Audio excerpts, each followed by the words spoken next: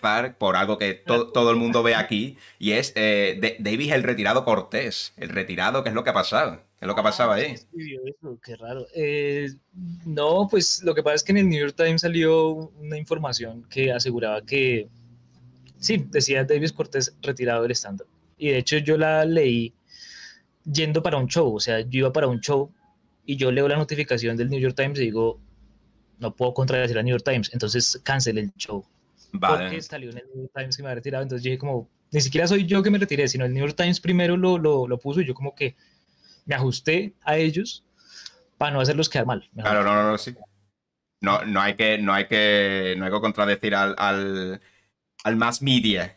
Oye, pero ¿qué es lo que, qué es lo que, qué es lo que pasó? Bueno, aparte de, de, de esa retirada, la retirada de Instagram, eso, ¿qué es lo que pasó ahí? No, pues, no, pues ya fuera de chiste, no, lo que sucedió fue que simplemente el stand-up dejó de ser eh, rentable, ¿no? O sea, como que había un momento en el que se podía vivir del stand-up eh, y luego hubo un momento en que cierto programa que no voy a mencionar acá, pero donde se ofendía a la gente y demás, con mucho ahínco, algunos dirían con ánimo, pero ya serían exagerados. Yo uso ahínco, con ahínco de ofender, era, era la primera versión que era que ofrecía del nombre del programa. Yo dije, ¿por qué no me llaman con ahínco de Porque había, había gente que no sabía lo que significaba ahínco y lo tuvieron que cambiar seguramente. No, y además que siento que hay gente que tenía ahínco de ofender y hay gente que tenía ánimo de ofender. Incluso se puede hacer un spin-off. Ah, vale. Un spin-off llamado con ahínco de ofender. Sería una estupidez. Con ahínco de ofender. No, o sea, como que siento que fue un golpe, digamos, duro, pero también pues un baldado de agua de realidad eh, darme cuenta a través justamente de Instagram y, de varios shows cancelados que la gente no tenía interés como en, como en mi figura de comediante, o sea, como que le interesaba el personaje, comillas, televisivo, pues obviamente YouTube, pero pues YouTube es la televisión de la, de, la generación de ahora. Un personaje televisivo, así fuera en YouTube, sí, porque es que hay gente que lo ve a uno y le dice como, ay, usted es youtuber. Y yo como, youtuber mis cojones. No, señor, soy un tipo serio. Soy un tipo serio. Pero ¿a ti, ¿a ti te molesta o te gusta que te digan youtuber en la calle como, hey, youtuber, no sé qué? Bueno, a mí en la calle no me, no me dicen nada, al menos por ahora, y doy gracias, pero a mí ni, ni, me, ni me molesta ni, ni tal. Si al final eh, yo no, yo no vivo de, de, YouTube, o sea, yo tengo mis trabajos y tal. Así que si alguna vez me dicen que soy youtuber, pues bueno, no sé. Que al final es una otra etiqueta más, me dicen muchas cosas al cabo del día. Si me pongo a leer los comentarios, bueno, tú también lo sabrás, pone, etiquetas tengo para vender, así que una más no me, no me, no me molesta. Pero me, me, pareció, o sea, cuando de repente, porque nosotros teníamos esta charla, la teníamos hablada de hace tiempo. Y te, ah, sí, sí, sí. te fui a escribir a Instagram y había desaparecido. Y dije, bueno, no sé, no sé qué. Pero me, me, me, me sorprende que, que sea por, o sea, que tengas tan relacionado el concepto de estar en Instagram con el de la figura de stand-up, ¿sabes? Rollo... Claro, porque es que Instagram yo no lo abrí, o sea, yo como tipo serio jamás habría abierto Instagram, pues, porque yo soy una persona seria y respetable. No, digamos que yo motu propio no habría abierto Instagram, sino que me lo abrieron mis amiguitos, de hecho fue en la casa de Duan, donde vivía Duan en Chía, Duan Gómez, él hubo un tiempo en que vivió en Chía, ¿no? Antes de que vivieran en la famosa casa que quedaba por acá, que era donde hacemos podcastinando y eso, antes de eso, cada uno vivía en su sitio, Camilo vivía en Chía, Duan vivía en Chía, Gabriel vivía en Kennedy, y yo aquí siempre. Eh, entonces, como que en esa casa, eh, ellos dijeron, profe, usted debería tener un Instagram, y como acaba de salir el capítulo del Babies, que era el 19, ah, pues hasta hacía muy poco, los manes decidieron ponerlo así, como, como para que fuera el personaje de la serie. Y pues mm. sí, la serie acabó y entonces pues como que se trató de darle, porque incluso yo pensé en salir de Instagram casi desde la media hora de abrirlo, o sea, desde ahí estoy pensando en salir de Instagram. Antes duré mucho, o sea, agradezco. No, no, como que sí, o sea, como que para mí era como una cosa laboral, digamos, una cosa laboral. Y como que sí, se acabó la serie, debía haberlo cerrado ahí, pero seguí usándolo porque dije, bueno, bueno, a lo mejor se puede explotar esto, porque claramente no se puede explotar con libros. O sea, la gente de ahí no está muy interesada en, el mundo de los libros. De hecho, mucha gente de Instagram me decía como, oiga, y entonces en cada vez que yo sacaba un libro, ¿en qué parte de su libro es que usted cuenta la infancia de Camilo Sánchez? Y yo, no, marica, o sea, porque, porque asumen que la gente asumía y decía, en su libro pudo ver cosas como las conversaciones de con el modo ofender, pero transcritas, pero escritas más chistosas, y yo como, ¿qué? ¿De verdad creen que un libro que estoy escribiendo es eso? Porque era muy chistoso, pero luego, luego al principio me da rabia, pero luego después lo entendí y dije, claro, es que para esta gente esto es todo, o sea, Sí, entonces sí, obviamente sí. Ah, pero ya a veces veía, veía que, bueno, ya has dicho, imagino que tampoco era rentable, pero sí que veía a veces que publicitabas en tu Instagram alguna eh, conferencia o curso, ¿no? Que dabas sobre, sobre cine, sobre, sobre guion, sobre, bueno, diferentes cosas que hacían más allá de, de, la comedia y que intuyo que tampoco eso funcionó al principio, pero luego cuando dejó de funcionar también fue como una forma de decir, como, bueno, esto tampoco está funcionando, porque la gente si no, o sea, digamos que así como hubo conferencias que se hicieron y salieron bien, detrás de esas hubo muchas que se cancelaron también, y que pues obviamente esa cancelación implicaba pues, la pérdida de un trabajo de preparación y de, porque así digamos fuera algo que lo que yo quisiera hablar y que comillas ya supiera, igual el solo hecho como de organizar unos materiales, es un tiempo que se invierte y que se espera, digamos, a recuperar haciendo la conferencia y se hace la conferencia si es rentable, pero cuando uno veía que no era rentable hacer la conferencia o que...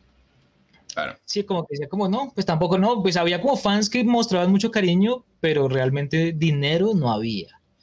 Y sí había mucha como cosa tóxica como de recibir exceso de hate, de haterismo, también exceso de elogio, de exceso de pendejadas exceso de, de, mujeres que no salían con nada, exceso como de intensidad de, en la mente, de decir como, pero ¿será que esta vez sí va a salir conmigo? No, o sea, ya, o sea, ya, ya me vienen cancelando tres martes seguidos, ¿sabes? Sí o no. Y pum, lo bloqueaba uno. Yo, ¿qué? ¿Cómo así? Yo soy el que bloquea. Bueno, sí, era. Invirtiendo roles, tío. Era, sí, es que ahora invierten todo. Eh, sí, era, era, una tensión ahí permanente también de eso. Y como que sí, no, como que me siento que se volvió como una especie de vicio también. A mí me gustaba mucho ver las eh, conversaciones con fans. Eh, para mí eran bastante interesantes. En Facebook sigue el formato si quieres. ¿Tú, ¿Tú, no tienes perfil de Facebook para que seamos amigos en Facebook? Davis, yo creo que se, va, se, van, se van a reír con el chiste de, de Davis y tal, de los años y tal. Que si ya nadie está en Facebook, tío pues no sé, siento que hay una generación sí. y ciertos círculos sociales que todavía están en Facebook, así como hay gente que todavía está en Twitter. Ah, bueno, yo, yo estoy en Twitter. O sea, siento que obviamente también hay gente, digamos, más joven que se va sumando a X o Y de red social, pero siento que también hay las redes sociales, las redes sociales son generacionales. sí, sí, sí. sí. Twitter nació con una gente y esa gente es la que se considera verdadera tuitera, o sea, como que los que van llegando los miran así como por encima del hombro y tal. Y lo mismo pasa con Facebook, porque sí, esa cuenta de Facebook ya tengo hace como 15 años o algo así, o sea, uno se puede dar el lujo, es también chévere esa experiencia de tener una cuenta, de cómo se comporta uno en una cuenta que tiene hace 15 años y cómo se comporta uno en una cuenta que le abrieron unos amigos hace 15 días y que bueno, Dice, dice Tato, no todo es dinero. Ya, hombre, pero tienes que tener en cuenta, bueno, lo ha explicado él. No, yo no digo que todo sea dinero, pero pues sí, la rentabilidad es importante. Entonces, como que, porque de la, rentabilidad vivimos, o sea, es que es el problema. Esos memes que circulan mucho de, que somos el, único, la única, nos creemos los más inteligentes como humanos, pero somos la única especie que paga por vivir en el planeta. O sea. Sí, un poco así, sí. Sí, es como pero bueno, pero es que esa es la vida real, o sea, uno tiene, o sea, yo no le puedo salir con eso a la señora la riendo, a decirle como, no, es que tengo, mire estos seguidores y mire que aquí esta gente dice, uy, el bebé Elvis, qué remate tan bueno, no sé qué, o sea, yo no le puedo salir con eso a la señora, a la señora no le importa eso realmente. ¿y, y a qué se dedica entonces actualmente el bebé Elvis? Bueno, Davis en este caso, ya sería Davis. Sí, pues yo suelo ser detective privado, ahorita estoy metido más como en el espionaje y esas cosas, y siento que es un cambio, es un cambio lo del espionaje, porque mucha gente dice no, es lo mismo James Bond que Sam Spade. No, señor, no, respéteme. Pero, pero a ver, a mí, a mí, o sea, no sé cuántos espectadores tenemos ahora, pero no te conviene decirlo, ¿no? Tan públicamente. No, mentiras, tú que habrías hablado de redacción de artículos y eso, hago algo así parecido. Redacto preguntas de comprensión lectora para una empresa chilena que prepara estudiantes para el para las pruebas PAES, que es como, como, la, como, como la prueba de acceso a la educación superior, digamos. Vale, ¿A la, a la universidad o...? Sí, sí, sí, de ah. Chile. Vale, vale, vale, Yo no sé cómo se llama ya en, la, en España ese, ese proceso, ese, ese, ese camino entre el colegio y la universidad. Creo que el examen se llama... Bueno, cuando yo lo hice se llamaba selectividad, no sé cómo se llama ahora, sé que tiene otro nombre, pero bueno, sí. Eh. Cuando yo lo hice se llamaba examen contra la viruela. Sí, no, pero es que hace tiempo, hace tiempo, hace bastante tiempo. Se llamaba palmada de recién nacido. no, Pau, Pau.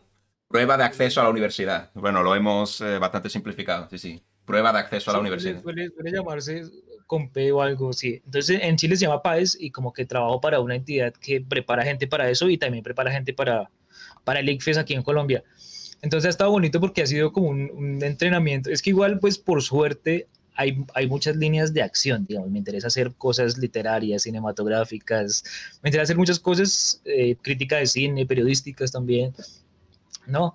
Eh, entrevistas a cineastas colombianos, por ejemplo, que es lo que estoy haciendo en Rayones de Cine, eh, y pues obviamente mi propia literatura, que obviamente pues desafortunadamente hay que reconocerlo y es que para mí la comedia no era la prioridad, o sea, la comedia en formato estándar, ¿no? Digamos como que la comedia como de, de, de, hacer reír a mi interlocutor en una conversación casual es la que más me interesa y siento que en esa llevo como desde el año 3 de vida. Entonces, sí, o sea, llevo más tiempo que, que, que, el, que el, más legendario de los comediantes, a, menos que sea mayor que yo, obviamente. O sea, siento que, como decimos con Brian en algún momento, hay como una suerte de comedia natural que pues se puede expresar en podcast, se puede expresar en literatura, se puede expresar en cine, se puede expresar en, con ánimo, se puede expresar en podcastinando, se puede expresar en muchos eh, formatos y el stand-up es solo uno de esos. Y digamos que no me molesta tanto el, el, el, retiro porque, bueno, porque primero el New York Times lo dijo y segundo porque, porque sí, porque igual puedo escribir novelas, igual puedo hacer podcast, o sea, puedo hacer otras cosas, no es que esté muerto realmente, sino que pues simplemente uno hace ese truquito estúpido de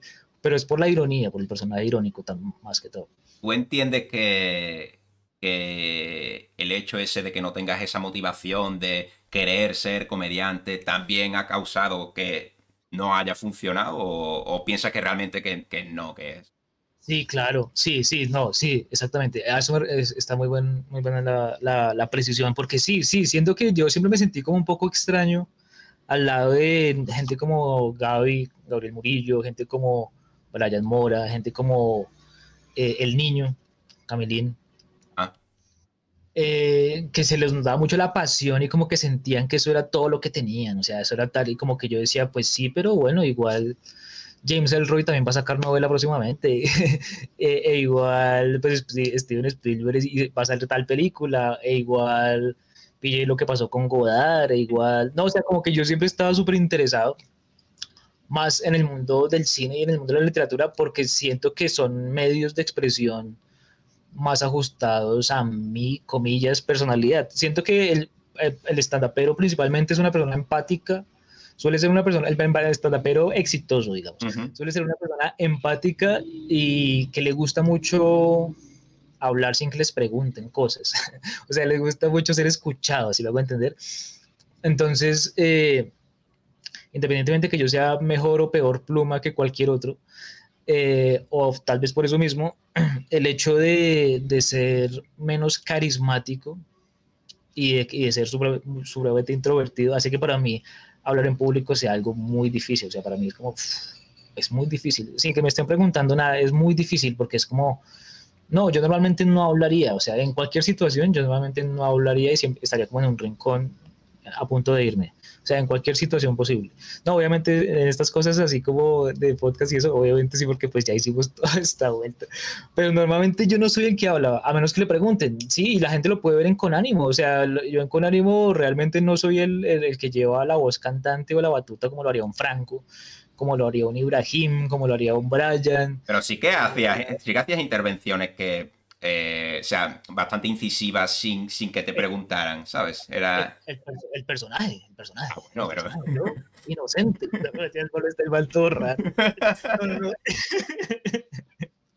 Eso es muy noguera, ¿no? sí, sí, justo estaba pensando. Te iba a decir que, que, sacaron eh, un Ultra Show nuevo hace una semana o dos. Sí, yo estoy al día. Yo tengo ese semana.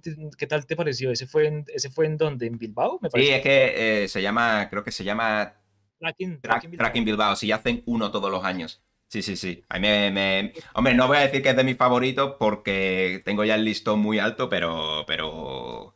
Eh, a, su nivel, a su nivel, tío, a su nivel. Está mejorando mucho en canto, está mejorando mucho en el canto. Está yendo a clases de, a clases de canto y se le nota. Ah, ok. Es buen cantante. Por ahí vi una presentación del libro que hizo el libro de Rodrigo Cortés. Uh, brutal eso, brutal eso. Uy, nunca tenía con quién hablar de esto. hablar con alguien de esto. Sí, sí. A eso me refiero, a eso me refiero. Yo de, dejé... Y eso atrás Murillo hacía muecas y monerías, ¿te acuerdas? Sí, sí, sí, sí. ¿Por qué? En cambio, en Podcastinando siento que estaba más libre. A mí mi formato favorito de todo lo que hicimos con ellos fue Podcastinando. O sea, entre clasificado y Podcastinando es lo que más me ha gustado de, de, la experiencia de, crear o co-crear un producto con ellos. Que obviamente también es muy chévere el combo creativo, ¿no? o sea, el parche, tú que ya ahora estás experto, por ahí me contaron los del New York Times también, eh, y los del Miami Herald, los del país. ¿Qué otro periódico importante hay en, en España además del país? El Mundo. ABC. El Mundo. de Madrid. ¿El ABC es de donde? ¿De Barcelona? Eh, no, creo, que es de Madrid también. La mayoría son de Madrid, de hecho. un segundo, Bueno, ese libro de Rodrigo Cortés, eh, ¿qué, tal la figura de Rodrigo Cortés allá? Ya que estamos... Eh, no es muy conocida, pero sí que a mí me gustó mucho, bueno, la peli concursante, me, eh, la vi cuando yo empecé la universidad y me, pareció, me fue como un shock de cómo explicaba el, sistema económico y tal, me, marcó, me marcó. Y en cuanto a la presentación, yo dejé un comentario en el vídeo, la, mejor presentación que yo he visto en, en años, tío. Era una especie ahí de mini show de Noguera, eh, con, con, cierta, cierta complicidad incómoda con el, con el, con el tipo, eh, muy, muy, eh, intervenciones del público. Sí, sí, sí, sí, brutal, brutal. No, es que igual Rui Cortés también tiene su, pues, sus años haciendo Todopoderosos y podcast donde el tipo también mete su personaje irónico. Eh, que pues que sí, por momentos lleva la batuta de la voz pero también el man es como el que remata burlándose de Juan, o sea, como que hay un juego de rol que de hecho yo debo confesar aquí ante tu público español y bueno, internacional también, que muchas veces yo antes de ir a, grabar con Emo Defender, yo me ponía un capítulo de Todopoderosos porque para mí como que la mayor influencia de siempre ha sido Todopoderosos, o sea, en términos de podcast cómico, pseudocultureta, pero también tiran, tildando la cultura pop, más, más a lo pop que a lo gafapástico, como dirían ustedes, ¿no? A lo hipster, ¿no? O a lo hipster, sí, o a lo... Porque no han hecho, por ejemplo, un especial Berman, pero sí han hecho un especial Spielberg, han hecho como cuatro especiales Spielberg, graban en Fundación Telefónica. Eh, son como cuatro yo no sé si Juan Gómez Jurado es muy conocido, es, es muy conocido ya como escritor de bestsellers. ¿El escritor? Eh, eh, escritor de bestsellers, sí. Un segundo, David, porque me dicen que, que, se te escucha un poco bajo. Es que he tocado una cosa en el, en el micro. Eh, eh te escucha un poco bajo. A ver, un segundito. A ver, ¿puedes hablar ahora? Hola, hola, hola, hola. ¿Funciona? Bueno, ahí la gente me dirá si funciona o toca hacer algún ajuste. ¿Se le sigue escuchando bajo? Que yo aquí en mis niveles lo veo bien. Igual la gente molesta mucho. La gente creo que me está tratando más de molestar a mí que a ti. nah, nah. Aún un poco bajo, joder. A ver. Listo. Pero yo acuerdo de eso de las transmisiones, que había gente que por molestar... Es que el roast, la forma de, de, hacer de ser heckler, digamos, en internet, es decir, como, eh, no se escucha, y a veces uno como que, y luego es como, ah, te dice creer que no se escuchaba, y si se escuchaba, y baja, Vale, ahora dicen que, está arreglado, perfecto. Entonces, ah, eh, a, Juan Gómez Jurado, sí, sí, a ver, yo, te, eh, yo no he leído ninguno de sus libros, pero sí que he visto muchas de sus entrevistas cuando presentaba uno, porque iba mucho a Late Nights de aquí de, de, España e incluso ha hecho alguna colaboración en alguno, con un poco de, comedia. Y, y, sí, sí, pero aquí se le conoce como un escritor de bestseller. Sí, básicamente sí, es eso. Bueno, sí, él y también está Javier Cansado, ¿no? El de... sí, sí, sí, sí. Es que ese tipo me parece que el personaje que hace él en ese podcast es increíble porque el man llega sin las películas vistas y se agarra de ahí para decir como no, esta vez no me vi las películas por tal cosa y la justificación de esta y como que la gente no le pide que el man sea erudito ni nada, sino que sea el vago el vago que siempre iba con una excusa, que siempre se inventa una vaina de, ah, bueno, no les conté que conocía a Spielberg, pero no voy a hablar de eso, no sé qué, y el man como que generó una intriga ahí, y luego después cuenta una anécdota refalsa, obviamente. Cansado. Uy, no, es muy bueno el hijo de madre. Es, un crack, es un crack. Él, él participa en un programa que hay aquí en, o no sé si se sigue emitiendo, creo que sí, que se llama Ilustres Ignorantes y lo que hacen son varios, eh, eh, cansados, salen varios y plantean un tema y básicamente lo que hacen es inventarse anécdotas en torno a, ese tema y es brutal, las improvisaciones luego se van complementando unos con otros, sí, yo estaba allí y tal, y van, es brutal, es brutal. Sí, sí, sí. Y ahí, sale este man Ignatius, no sé qué, ¿cómo se llama este Ignatius Farray. Farray, ¿no? parece que en esos formatos es bueno. Tiene una voz un poco. La, risa tiene algo que molesta el oído. la risa del hombre. Entonces, por eso uno dice, como todo lo que dice es muy inteligente y es muy chistoso, pero cuando se empieza a reír de sus propias cosas, eh, hace un sonido que es molesto. Ignatius es un comediante que es como un poco también como Noguera, que hay que, hay que entenderlo, ¿sabes? Hay que entrar en su mundo y una vez que ya estás dentro, pues se digiere todo mucho mejor. Pero es un crack, es un crack, es un comediante de referencia en, España. Hay uno que mencionas mucho llamado Keke, ¿no? Keke, fue, yo no sé si, si conoces, aquí hubo un, un formato de stand-up, programa de televisión que se llamaba eh, El Club de la Comedia. Y ahí iban varios varios eh, comediantes de stand-up y bueno, concursaban. Y que fue el ganador de la segunda edición, creo. Eh, y se ha dedicado poco al stand-up. Él ha tenido programas de televisión, tuvo un programa de radio con, con Ignatius Farray también. Y no sabía yo que era eh, conocido por, por allí, por, por Colombia. Pues en mi, habitación sí, pero no sé. no, lo que pasa es que, pues, como por Todopoderosos, también uno llega a otro podcast que ellos tenían que se llamaba Cinemascopazo, donde, como entre, entre, Arturo González Campos y Juan Gómez Jurado, entrevistaban a, a, alguien del mundo español, pero que solía ser comediante, sobre una película en particular.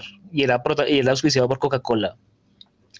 Y era. Entonces había uno en el que llama, hablaban con Keke sobre Batman y que ah, cumplía el rol muy crítico frente a la gente muy fan de Batman versus estos dos que obviamente son muy fans y van a defenderlo y pues obviamente cada uno con herramientas retóricas.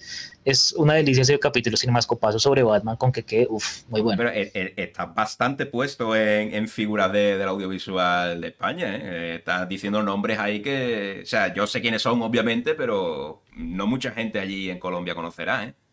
¿Será? Pues en esta habitación se maneja información. Sí, ¿eh?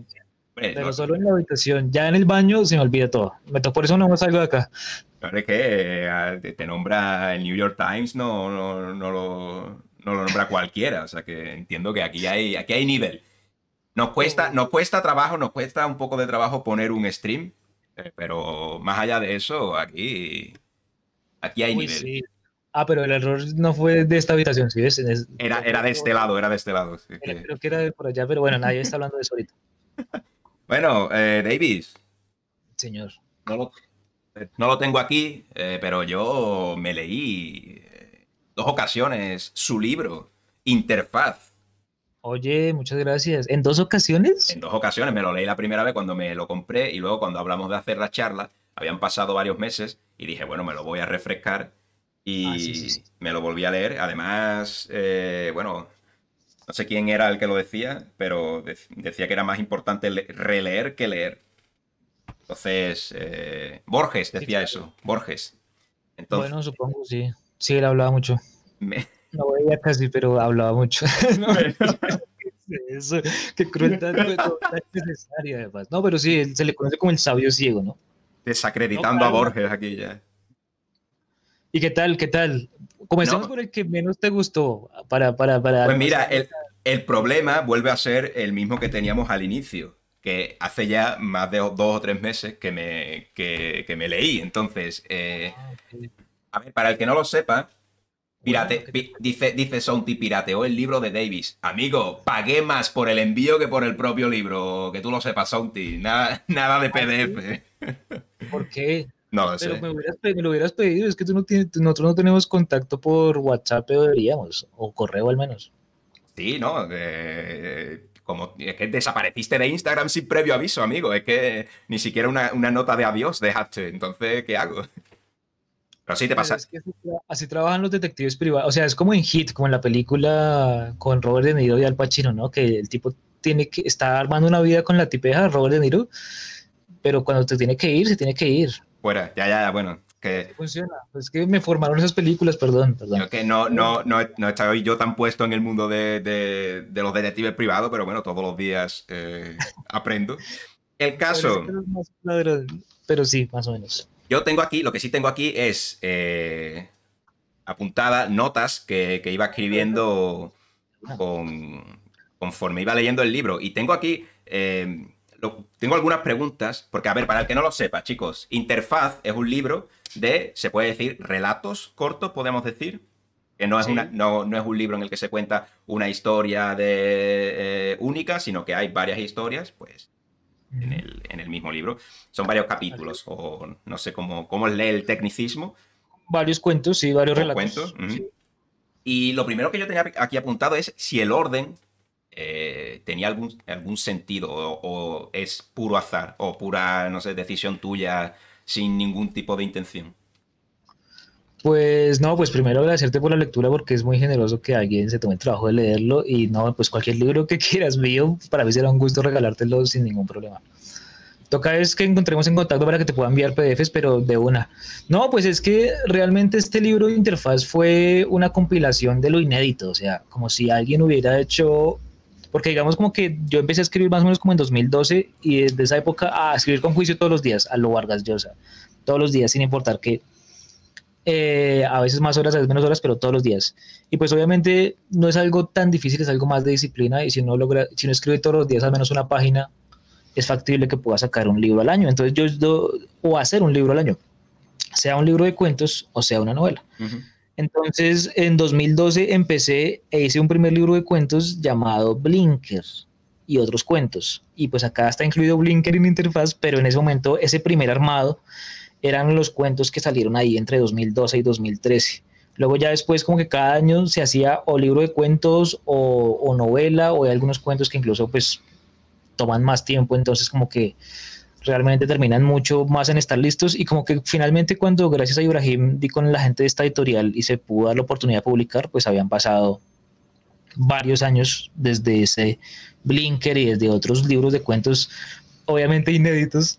Entonces como que dije, no, pues quememos bien el cartucho y, tratemos de meter lo mejor de dos o tres libros de cuentos inéditos que había de años pasados. Entonces ahí hay cuentos que van desde 2012 hasta, hasta el propio 2000 18, 2017, dependiendo, y como que ocurrieron en momentos distintos las creaciones y, simplemente es como si, como, como simplemente un, un grandes éxitos de algo que a nadie le importa porque igual nadie sabe ni le importa lo que pasó antes. Pero en cuanto al orden, eh, no, no hay... Pues en cuanto al orden, como que dije, pues había dos posibilidades, porque por ejemplo, digamos, yo tuve esta discusión con Felipe Aljure, un director de cine colombiano, que iba a prologar el libro de 2012, que finalmente el editor incumplió el contrato y no se publicó. Ah. Pero entonces como que con él, él me hizo la misma pregunta y pues chévere que coincidan en eso, porque es un director que realmente recomiendo a la gente de España si quieren ver el Colombian Dream o la gente de la Universal, buenas películas colombianas muy duras. Ah, este man iba a prologar el libro porque es un libro que tiene mucho que ver con el cine, ¿no? Y donde la mayoría de los cuentos tienen que ver con cine. Hay, hay muy pocos donde no se mencionen cosas que tengan que ver con, con lo cinematográfico. Y, y, como que el orden, en, principio pensamos como, bueno, el, el, digamos que por la tradición de, de, gente como Cheever o de gente como Salinger, como esa tradición norteamericana de cuentista que, que, que hacía nueve cuentos, ¿no? Por ejemplo, el, el, libro de cuentos de Salinger se llama justamente Nine Stories, ni siquiera tiene nombre así eh, pero en adelante como que la tradición más ochentera tipo Raymond Carver, por ejemplo, o Tobias Wolf, de lo que llaman realismo socio norteamericano, ah. eh, esa gente empezó a hacer libros de cuentos titulándolos con el mejor cuento del libro, como era el caso, por ejemplo, de Catedral de Raymond Carver. Entonces, como que en mi caso, como que yo dije como, ok, podría titularlo como el mejor cuento del libro o como el cuento que creo que pueden llegar a leer más pronto y darles una idea de qué es el libro, como para ser honesto de entrada y no, y no, y no, y no digamos, por ejemplo, arrancar con un bol, eh, bolsilleros o con un licker, sobre todo, que son como más humanos, sino no irme por lo friki de una, o sea, como por ciencia ficción, que es lo que era lo que me interesa, o sea, como que acá puede haber ciencia ficción, comedia absurda y otras pendejadas, pero pero si me decido por, por qué quiero que lean primero ciencia ficción, entonces dije como interfaz, para que la gente lo lea primero sí o sí, y si no, lo pongo de primeras, y lo puse de primeras igual, porque digamos, pude haberlo puesto en algún lugar y por el solo título la gente ya iba a ir de una a leerlo. Aunque sí hay gente que lee libros de cuentos en orden, ¿no? Me parece raro. Yo no, yo no leo libros de cuentos en orden. ¿Tú sí? Yo, yo el tuyo lo leí en orden. A ver, para la gente que no ha leído el, libro, el, libro se llama Interfaz y por lo que él eh, ha contado, él puso el primer cuento o relato, también se llama Interfaz. Y, y según entiendo, fue el primero porque por un lado es el que más te gustó a ti o el que consideras que también es el que más le gustará a la gente. La verdad es que para mí es uno, es uno de los que más me, me, moló porque la idea me parece, no, no vamos a hablar aquí del libro, o sea, del capítulo para, para destriparlo, pero sí decir que eh, la idea me parece bastante, bastante guapa, eh, bastante interesante. Eh, tiene que ver con el cine, tiene que ver con, con cámaras de cine, que por cierto, tengo aquí anotado que, que claro, no lo recuerdo bien, pero tengo aquí anotado que que em, el nombre de las cámaras no son marcas reales. Bueno, claro, igual tú ah. tampoco te acuerdas, ¿no? ¿O sí? No, sí me acuerdo, ah, sí me acuerdo, sí, No, pues la prenda X1, sí, claro que me acuerdo, obviamente. Eh, no, pues lo que sucede es que son puras pendejadas. Puras pendejadas. Sí, como que hay, hay, un, hay un cuento posterior donde, donde pues que de hecho sí es el que más me gusta, no, el que más me gusta no es interfaz, el que más me gusta es, es Making of Making, porque tiene que ver mucho más con lo meta y demás. Interfaz me parece que eso es un cuento de ciencia ficción, de pronto puede ser ejecutado competentemente, esperemos, y pues obviamente que lo que implica crear un elemento nuevo en el mundo y como que en su momento puedes creerlo me, lo inspiró la película Ocean's Eleven como que yo era muy fan de Ocean's Eleven Y, y, en el making of había como una charla ahí entre Clooney y, Pete parchados ahí como en, en, la barra de un bar y como que mostraban que había sido robado con dos cámaras cruzadas. Ah. Y claro, como que en algún momento, pues como que dije, chévere ese documental que le muestra a uno cómo, cómo lo hacen. Pero entonces yo me, me, imaginé justamente lo que pasa en el cuento y es como qué pasa con esa intersección, como que es, una, es algo que se imagina alguien muy bobo y que normalmente uno se lo puede contar a alguien y puede decirle, no, pues tampoco, si ese haz de luz, si ese haz o esa cosa que acabas de registrar no es, no es física, no es dibujable, no es, sí, no es como trazable. Y como que pensar, ¿y por qué no? Sí, o sea, de pronto sí, entonces hagamos, pues no podemos hacerlo en la vida real, hagamos un cuento, como que el escritor de ciencia ficción es alguien que se inventa cosas que, pues, que no puede, digamos, justificar como un inventor real pero sí puede especular sobre las consecuencias de esas cosas, ¿no? Como lo decía este man, eh, ah, ¿cómo se llamaba? Darko Sovic. Bueno, un teórico de la ciencia ficción que decía como que parte de la ciencia ficción era crear premisas contrafácticas, crear elementos en el mundo que no existían antes, como por ejemplo la máquina del tiempo, ¿no? O sea, este man cuando Wells crea la máquina del tiempo, crea un elemento que antes no existía y da para un género incluso. Y me, Sí, crear un objeto como para hablar de cómo reaccionaría el mundo ante la creación de ese objeto. incluso, eh, bueno, se parte de una premisa ¿no? ficticia y tal, pero sí que había, había cierta crítica en algunos momentos en el relato a, los ecologistas, ¿no? Por cómo se gestionaba el almacenamiento de, de, la peña que se metía en la interfaz.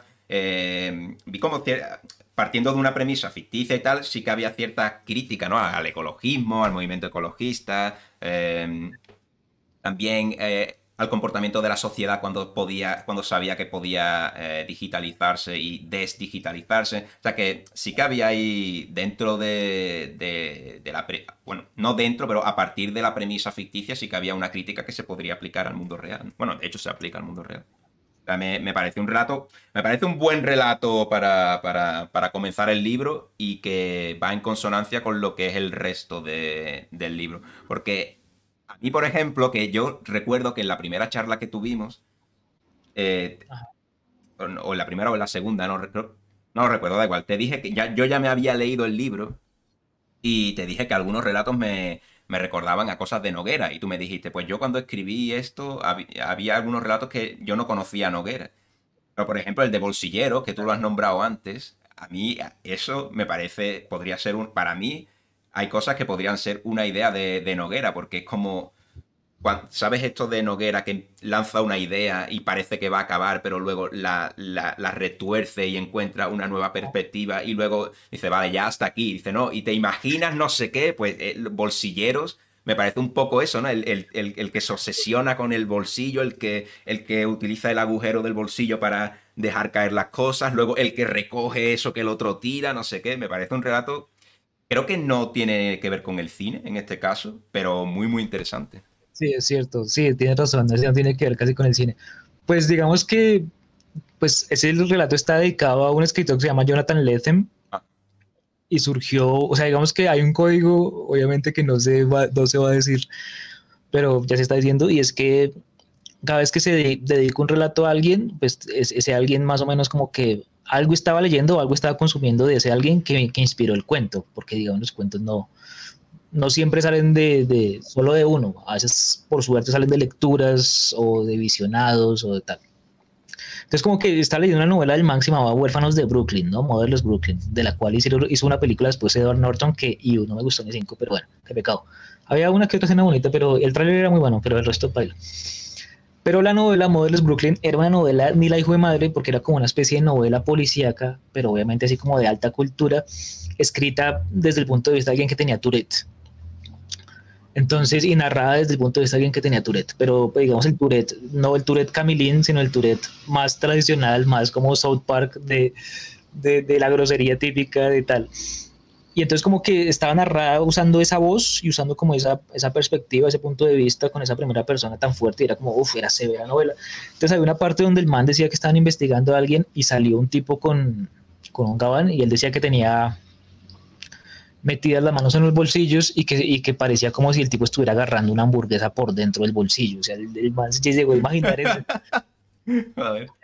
pareció, y ya, y luego después seguía narrando, pero a esa, esa, como ese delirio del personaje pareció tan bonito, como que, como que me, y, ahí es como que surgió con el para, para empezar a pensar en una legión de, de bolsilleros y en una fila, y bueno, pues para mí estaba más como de pronto también como en el Laura, esta película argentina con Ricardo Darín, como que el man se imagina como robar eh, unos sitios de unos bancos donde él va a cobrar su sueldo de taxidermista y se imagina como robarlo y la película lo ilustra así, uff, pero que el man nunca hace nada y eso man así como todo amargado y tal, me pareció sí, como alguien imaginándose qué pasaría viendo una fila y como diciendo que tienen como en estos los bolsillos y como inventándose una vaina así redemente tengo ahora la imagen de, de, del origen del cuento, de agarrarse una hamburguesa por dentro del bolsillo. Me, ha volado la cabeza. Claro, hay que leer esa novela, es muy buena. Eh, Modernist Brooklyn de Jonathan Lethem es muy buena novela. A mí ese, ese relato también me, me, moló y o sea, tanto es así que estoy leyendo aquí en las notas que tengo el título de otros que no me acuerdo tanto. Y entonces, por ejemplo, tengo aquí Melómano Anómalo, que creo que era el que iba de conferencias, ¿no? El que, el que se iba de conferencias, pero solo... No, eh, ah, sí, el que iba de conferencias, sí, sí. Sí, ¿no? Vale, vale. Y tengo aquí apuntado, yo no sé si te acordarás, es que tengo aquí apuntado, eh, me encanta la reflexión a pie de página sobre el plagio. Pero claro, no tengo anotado nada más. No sé si tú te acuerdas de. No, me acuerdo. Vale, vale, no, entonces lo, dejamos ahí. Pero... No, espérate a ver, sobre el plagio. Eh, no, pues yo me acuerdo que plagio en el mundo de las conferencias, supongo. Sí, supongo que tú tienes que ver con eso. Pues lo que pasa es que, digamos que en Melómano Anómalo se aborda desde un punto de vista extraño como un género que es como el, cuento sobre literatura, ¿no? Y el cuento sobre, sobre, el mundo literario, el cuento ambientado en el mundo literario, que es algo que, que pues estos escritores tipo Roberto Bolaño, tipo Vila Matas, empezaron a usar, pero que obviamente ya usaba gente antes como Pitol y bueno, como otros que suelen citar y como que me parecía chévere hacerlo y de paso como, como que hubiera un man que, que estuviera re loco, pero que, pero que punta de carreta se infiltrara en sitios, como, sí, como si fuera una especie de cuento de espionaje, pero en ese mundo, pero en, un mundo que pues, es, una, es una bobada, pero sí, no sé, fue, fue, fue digamos, lo, lo, primero que escribí después de escribir Ojo Mías, después de escribir la novela. Ajá. Entonces sí, digamos que, que, era un cuento también un poco como para descansar vale, vale. De, de, lo otro. Vale, y, tengo aquí, bueno, tengo aquí apuntado otra cosa que eh, esta sí que quiero que me la expliques, porque aunque no te acuerdes de lo que escribiste, imagino que la idea la tendrás ahí en jugador, jugador eh, player number two. Eh, jugador 2. Jugador 2. yo tengo aquí apuntado que dices, por un lado, dice, los, los gamers de FIFA y PES no son, no son gamers. Entonces yo quiero que te abras aquí delante de la audiencia y expliques primero eso y luego otra cosa que tengo que apuntar también. ¿Qué piensas de los jugadores de FIFA y de, y de Pro Evolution? No, pues me alegra que me hagas la pregunta porque uh, quería hablar de, con esto, de esto con alguien hace mucho y mi psiquiatra no me lo admitió. Me dijo, no, eso no, eso no. Vamos a lo de su mamá. Y yo, no, yo otra vez con mi mamá, no. bueno, el caso es que, eh, no, el tipo, el tipo, no, el personaje, digamos que también siento que cuando un escritor escribe algo en primera persona, no necesariamente dice lo que opina, ¿no? Él está interpretando un personaje y es algo parecido a actuar realmente. Eh, obviamente en este caso sí estoy muy de acuerdo, pero quería, hacer la aclaración por si acaso, porque no si era necesario. Eh, qué estupidez.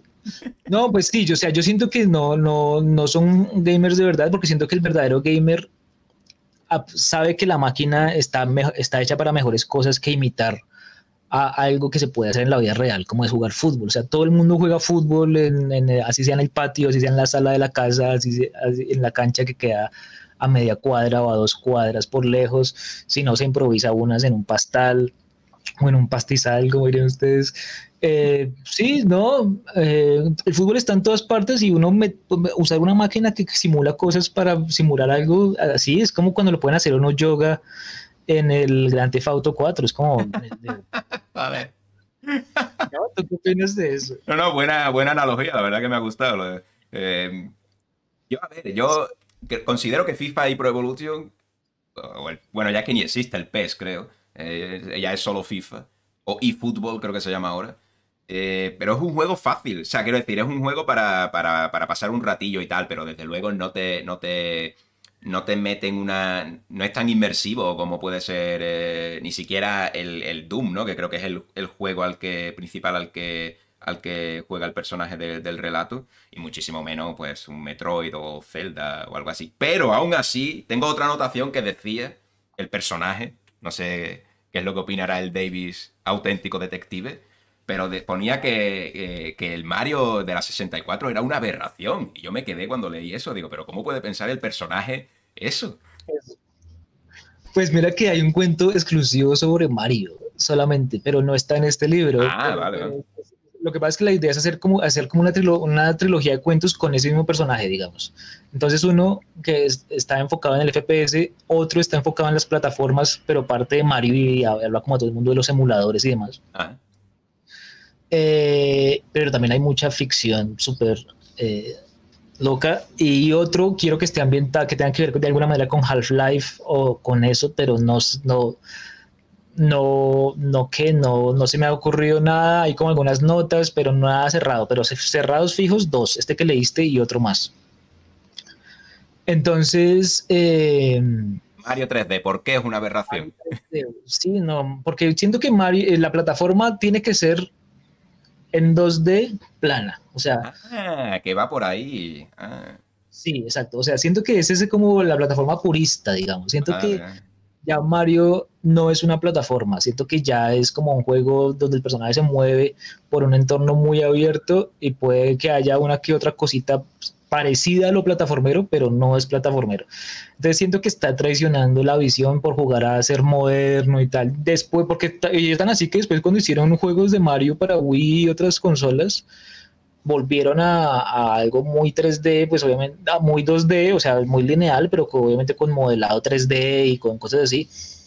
Eh, como, por ejemplo Rayman, eh, Origins y cosas así que son es que no, o sea, como que dicen, sí podemos hacerlo, lo que pasa es que este juego depende de, de esta estructura. Entonces, lo que podemos hacer con nuestro, con nuestro 3D es hacer modelos más bonitos y fondos más, más espectaculares, pero la interacción tiene que ser en una sola dirección, si no jodimos esto. Incluso Crash es en 3D y es una sola dirección, si es plataformero.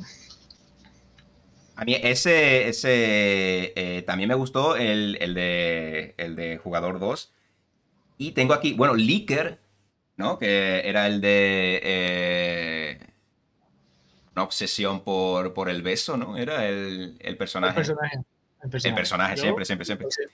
Eh, tenía que apuntado, eh, el relato está basado en tu experiencia, pero bueno, ya veo que no, que aquí hay una barrera que separa el personaje del escritor, así que esa pregunta ya la, pues de, hecho hay un escritor de ustedes, Enrique Vilamatas, que lo mencionamos ahorita, que el tipo cuando le preguntan eso, el tipo dice como, mi, le preguntan siempre, ¿mi obra es biográfica?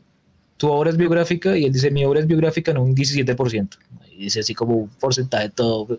Mira, yo directamente pasamos a, entre líneas porque cuando lo estaba leyendo a mí me recordaba me recordaba mucho a Vila Matas, pero por el, libro que tiene de, de Bartleby, porque aquí el, personaje es como todo lo contrario a Bartleby, ¿no? Es como que no puede eh, parar de, de, hacer entrevistas. Era el, tipo que, estaba obsesionado con, el trabajo de hacer, de hacer entrevistas. Incluso me, recordaba, porque también nombra el silencio como. O sea, era como una persona súper, súper profesional con la entrevista, súper trabajadora. Y yo estaba pensando, coño, es todo lo contrario al personaje. Bueno, el personaje original es de eh, Melville, creo, ¿no? El, el Bar Levy. Y claro, y, Enrique Vilamatas escribe Bar Levy y Anco, creo que es el título. Es And Company.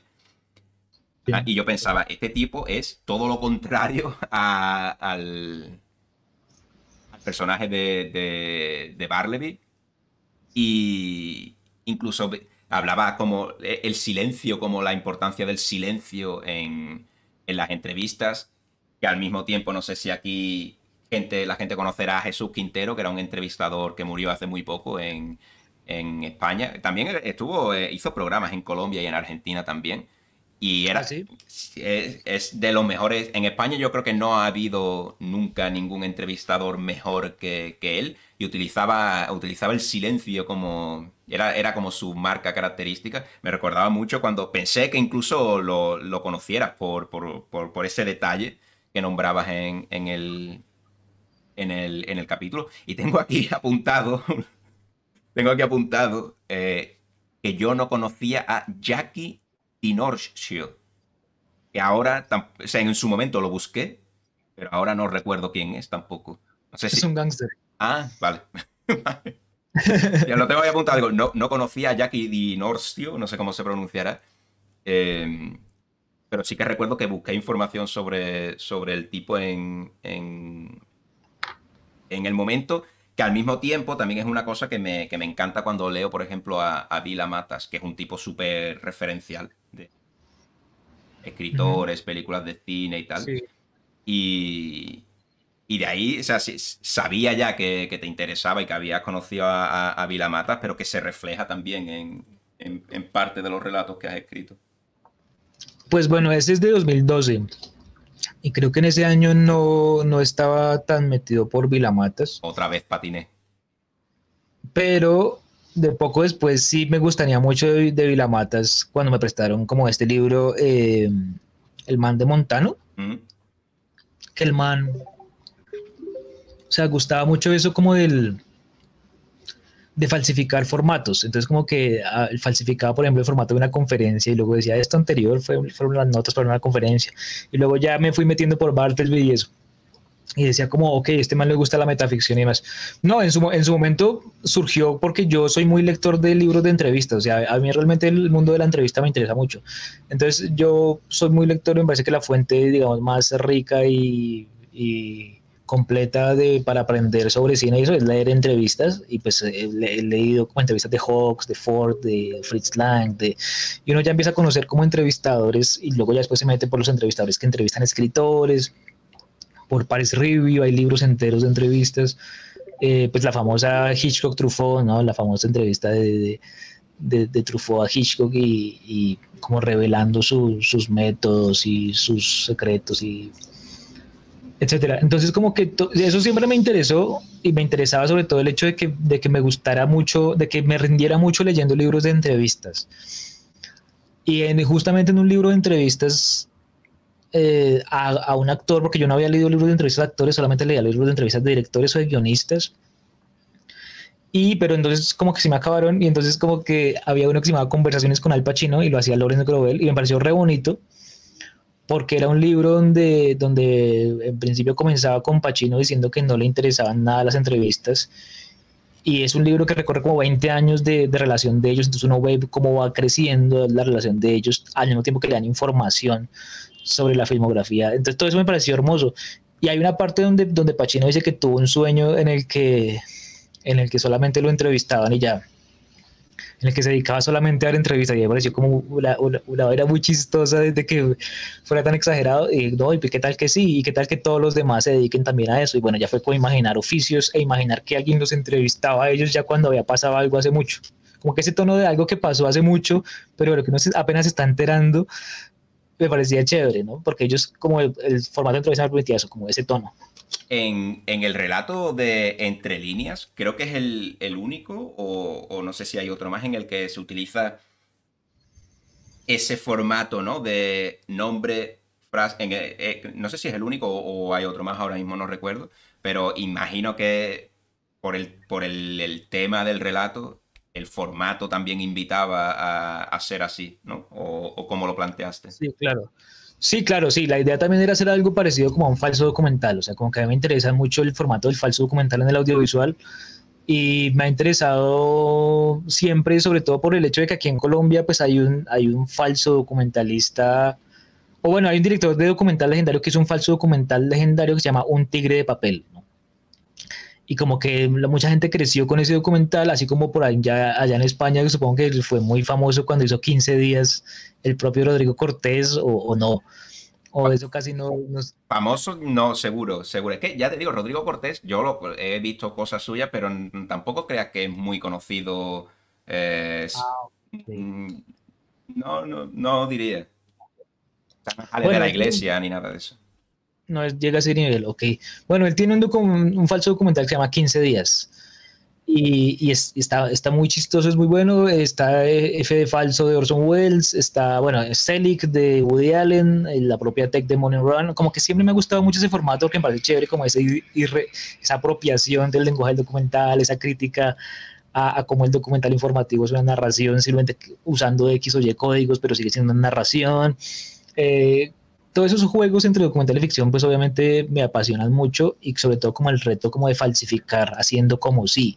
Entonces como obviamente tenía mucho eh, libro de entrevistas eh, pues que me, interesaba mucho y que podía consultar por estar aquí mismo en mi biblioteca o, o, podía tener, usar como excusa leer más tipos de entrevistas para, para, para investigar. En realidad solamente está satisfaciendo mi vicio de leer entrevistas y ya. Y no, o sea, como que me parecía chévere esa vena de que el vicio de uno se convirtiera en, o, sea, o, se capitalizara en forma de, de, un producto artístico. O sea, como que ese vicio de alguna manera me daba el tono de poder decir como, bueno, estos manes suelen contestar así, pero sería chistoso si contestaran así. Como que también ese hecho como de distanciarme y decir, no, eso no lo estoy diciendo yo, lo está diciendo Zuluaga, o lo está diciendo Pedraza, lo está diciendo tal, como que me permitía mucha mayor libertad. O sea, como cada vez cuando uno dice, lo estoy diciendo yo, uy, qué pena decir tal cosa, no, no, no, eso lo está diciendo Zuluaga cualquier cosa con él. Regáñenlo a él. También me parecía chévere ese, ese, juego. Eh, ¿Te ha llegado alguna vez, no, no, de este libro o de cualquiera, alguna, alguna represalia de algún tipo por eso? O, no ha llegado a ese nivel? No, ¿con quién? ¿Pero por qué? No, no, bueno, ya, ya sabes que la peña, la gente a veces es muy... No, realmente no. Yo realmente el libro yo no siento que se lea mucho en Colombia. O sea, siento que Igual, pues ese libro tiene una distribución muy somera, que es la que la editorial puede hacer, que igual es, es, una cosa muy casi que irrisoria. Eh, y entonces no es como una distribución como la que puede hacer Planeta, como la que puede hacer Random House Fundador y como la que puede hacer Anagrama.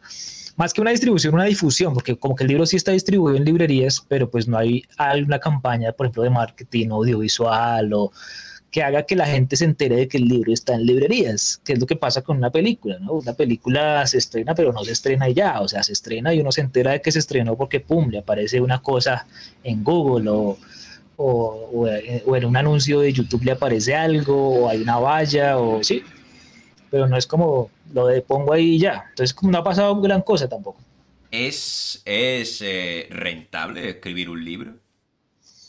Escribirlo sí, vivir de él no, o sea, como que sí es un arte rentable en el sentido en el que es más barato que hacer una película, o sea, hacer una película es muy caro. Y uno sí, o sea, uno se la pasa como con, llamamos aquí en Colombia pajazos mentales, pajazos mentales que son como, sí, como ensoñaciones de, de, bueno, escribí un guion y este guion, si Spielberg se interesa y lo compra, va a ser tremenda película, pero pues eso nunca va a pasar, entonces no, no termina de hacer la obra y entonces le toca escribir obras que pueda hacer y entonces todo ocurre de diálogos de personajes y ya sé, bueno, en fin, no puede, termina siendo teatro filmado, no termina pasando nada así muy grandilocuente, pero entonces siento que con, que con la literatura uno sí se puede permitir crear cosas, crear mundos, crear personajes, crear cosas, y ya que esté creado, pues que se publique o no, ya es otra cosa, pero ya está creado y ya uno puede descansar de esa obsesión. Es también de alguna manera como salir de una obsesión eh, cristalizándola en forma de producto. Entonces, en ese sentido,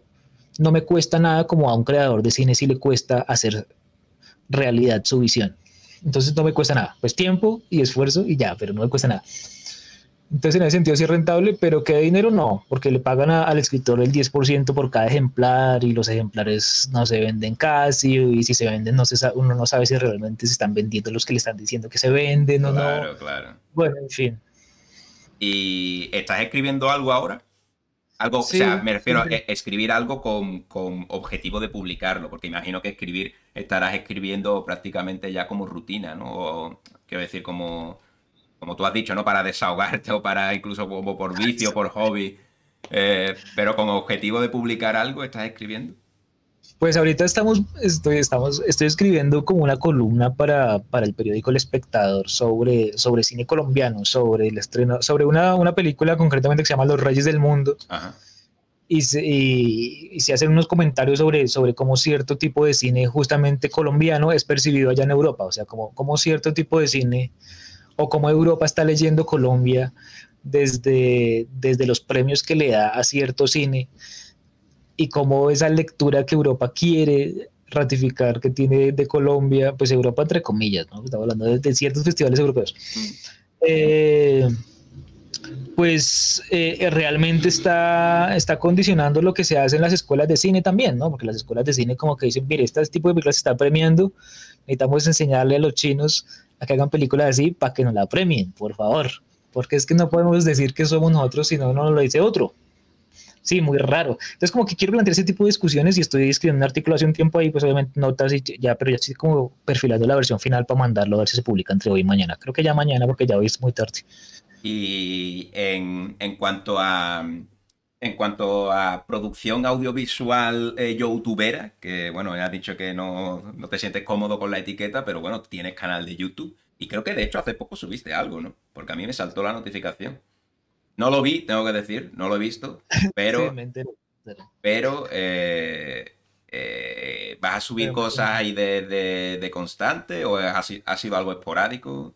No, pues sí estuve en algún momento subiendo cancioncitas homosexuales, pero pero como que la gente respondió bien al principio y luego ya después como que dejó de importarle, entonces como que ya bueno, entonces no subo más, porque igual también eso implica un trabajo de edición, entonces como, ok, igual, porque igual tengo como otro trabajo, lo que les digo, y ese trabajo vivo y ese trabajo tengo que dedicarle tiempo. Entonces, como que, como que ya dedicarle tiempo al mundo de YouTube, Instagram y esas cosas, no, Instagram cero, Facebook y esas cosas ya es como en los tiempos libres, ya no es como que estoy ahí todo el tiempo.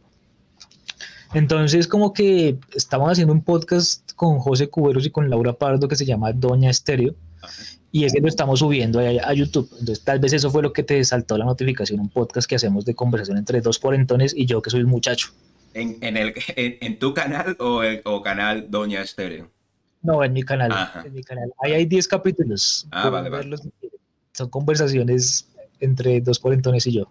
Y el joven sí, no, y, Sí, y como que también digamos que Turistianda pues estuvo bien y funcionó bien, pero entonces ahorita estoy ya más haciendo como estas cosas por mi cuenta. Ah, bueno, también tengo el podcast Rayones de Cine que ese también pues demanda un tiempo, lo que implica pues entrevistar a alguien y obviamente preparar lo que sea. Y, y pues ahorita estoy ya entrando como una fase como de cubrir algunos estrenos colombianos como para que el podcast de alguna manera sirva de algo, digamos, ¿no? Porque digamos que también me molesta un poco como esa típica entrevista generalista que le hacen a los cineastas colombianos que duran por ahí cinco minutos, tres minutos y que en aras de decir, no, es que las redes sociales exigen poquito tiempo y poquita duración, entonces hagamos una cosa mediocre que dure cinco minutos.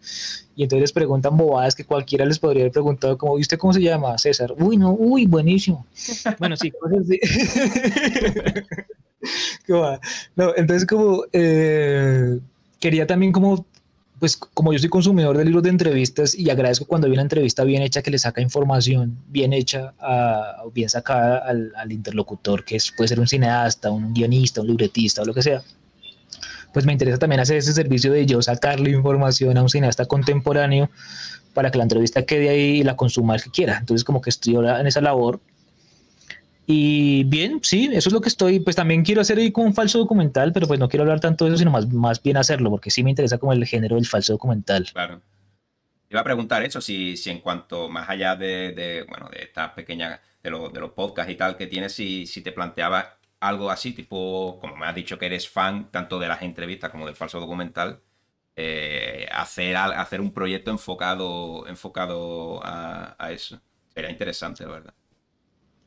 Sí, claro, sí, pues, pues sí estamos haciendo un falso documental sobre Doñas, justamente, y como que Doña Estéreo es, es, es, es de alguna manera una excusa para, para convencer a Laura de que protagonice mi falso documental. Eh, porque ya he, entrevistado a todos los que están alrededor. La idea es que hay una revista que se llama Ser Doña Hoy, que es una revista especializada en doñas, ¿no? que es como el atalaya de las doñas, pero también es como la revista Time o el New Yorker de las doñas, o sea, como que tiene artículos así como medio cursis, pero también tiene artículos así como súper sesudos de, de, micromachismo, es Sí, bueno, hay, hay, hay muchas fotos de gatos, obviamente, y hay, hay, anuncios de pijamas también, sí hay. Bien, bien, bien. Y de macetas, como dice usted, o de materas, bueno. Oye, y... Sí. No, no, dime, dime, dime. No, el caso es que sí, el documental trata como de eso, como de hablar de un mundo donde existe esa revista y que apunta que es también crear un objeto ficticio en el mundo, así como puede ser de interfaz, pero el, el objeto ficticio es una estupidez, no es una revista.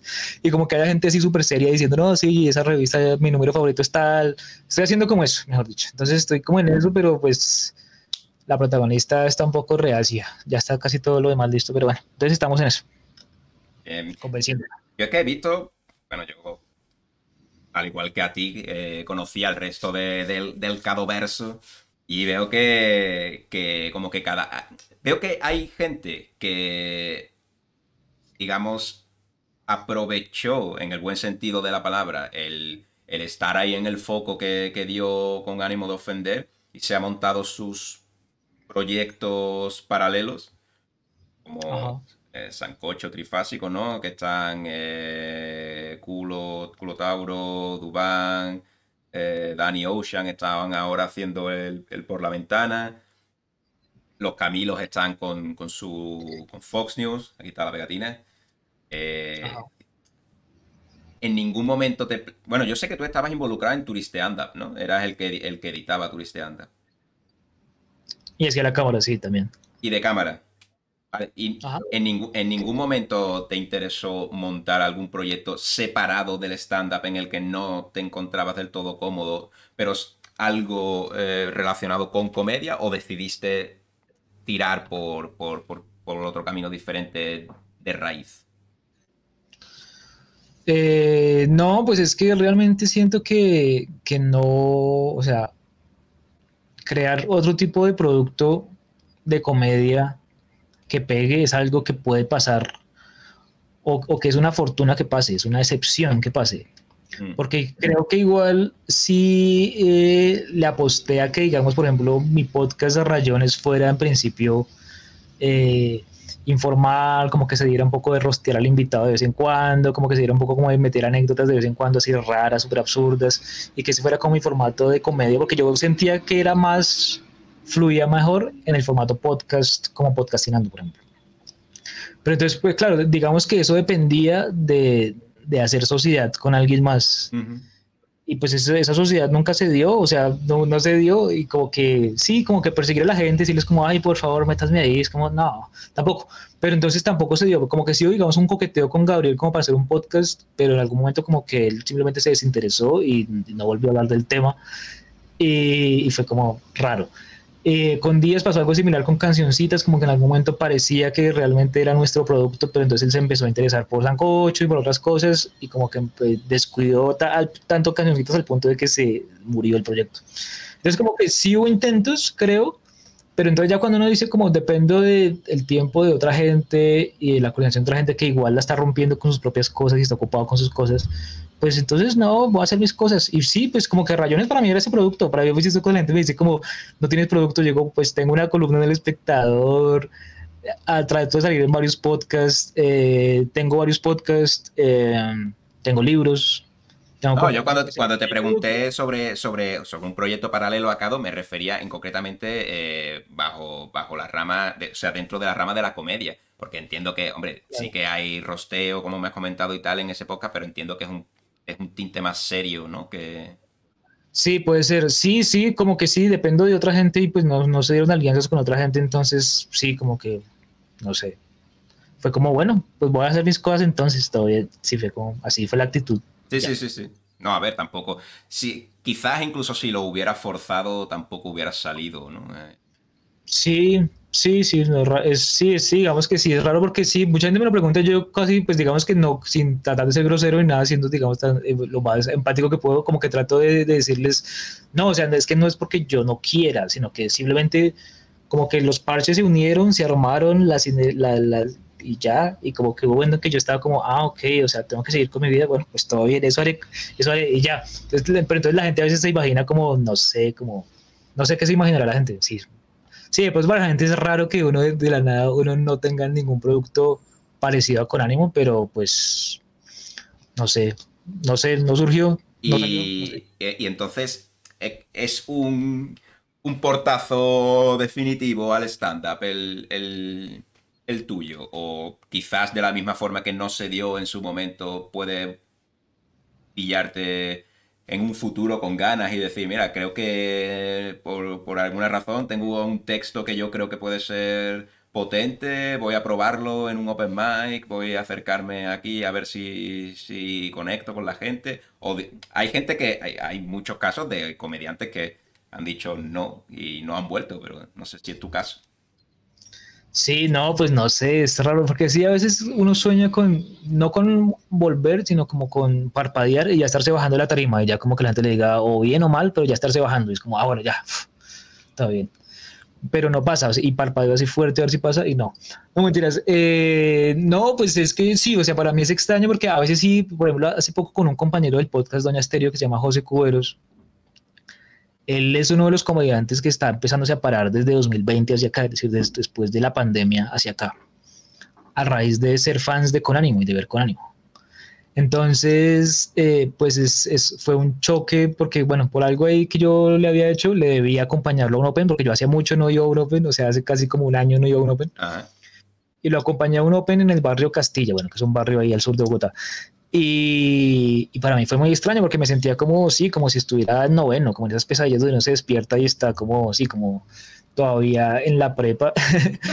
y, como que tiene que presentar la tarea de álgebra y uno es como, no, pero yo ya me gradué, yo me acuerdo que yo ya me gradué y, y, ya, y yo hice una maestría y todo y trabajé y todo, porque estoy aquí otra vez, ¿por qué no? Yo no quiero, no, se siente así. Y como que, sí, como que fue chévere, pero como que sí, en algún momento no, no me sentí con ganas de pararme y dije, no, sí, que, y todo el mundo estaba como muy ansioso y muy como con ganas de pararse y yo me sentí como avergonzado de decir como, no, yo no tengo ganas de parar. O sea, fue como, sí, porque no sé, no sé, lo que pasa es que también siento mucho una inseguridad rara y es como que veo, sobre todo en un Open, ¿no? Como que la gente empieza a hablar de ciertas cosas y veo que se ríen, o sea, los comediantes empiezan a hablar de ciertas cosas y veo que la gente se ríe, como que digo como, uy, no, yo ya no me voy a parar aquí. No, o sea, si se ríen de eso, no tengo nada que hacer. O sea, si se ríen de, que mencionó a Bad Bunny o algo así, o, o, sea, no, no tengo, o sea, no, perdón, no. Entonces también siento como que sí, como que de pronto, la, de pronto o soy muy malo o no, no, igual pues obviamente uno tiene noches buenas y funciona y ha tenido cosas buenas, pero siento que a nivel industrial no funciona y porque la gente no paga por verlo. A uno y como que siento también como que ir a Opens me hace sentir raro, como volver al colegio, como, ¿no? Es raro. Y eso... Pues, puedo hacer shows porque la gente no va, entonces no tengo dónde ejercitarme, digamos. Un segundo, porque eh, me están llegando notificaciones y, no sé de, qué. Eh. Ahora creo.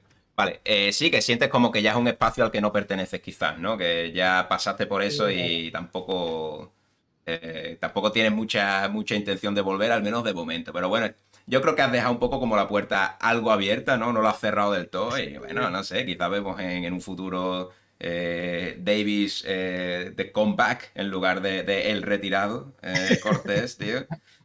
Yo, yo, no sé, tío, a mí Yo, lo he hablado muchas veces aquí porque comento con, sobre todo con comediantes que empiezan, que es, que, es muy complicado, ¿eh? Subirse al escenario y ver que algo que has estado trabajando luego lo sueltas y la gente no ríe o, no conecta de la misma forma que tú esperabas.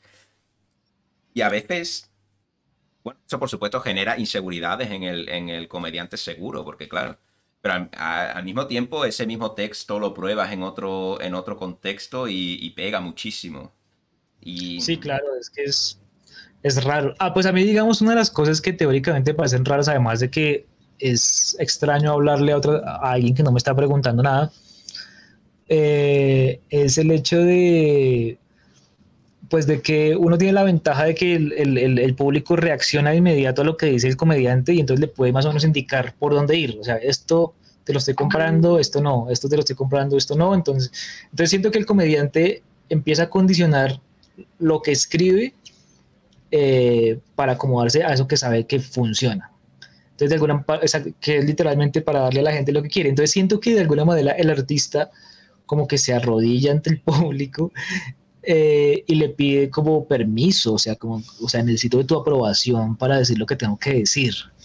Obviamente, uno ve gente como Bill Hicks, por ejemplo, y uno dice como, ok, Bill Hicks es un man discursivito, que también man se traga muchos silencios, porque digamos que los analistas de Bill Hicks no dicen suficientemente en voz alta, o sea, susurrados sí a veces, pero no dicen suficientemente en voz alta, que el man se traga mucha miércoles, se traga muchos silencios, eh, y bueno, luego sale con un rematazo muy bueno y, pues se levanta todo, pero tragándose muchas cosas de man ser incómodo, de confrontar, de ser hostil. Entonces siento que así como tú me decías de Ignatius y de Miguel Noguera, y bueno, no sé si, si pasa lo mismo con Berto Romero o con, o con Buenafuentes, que se llama el otro. Sí, sí, sí.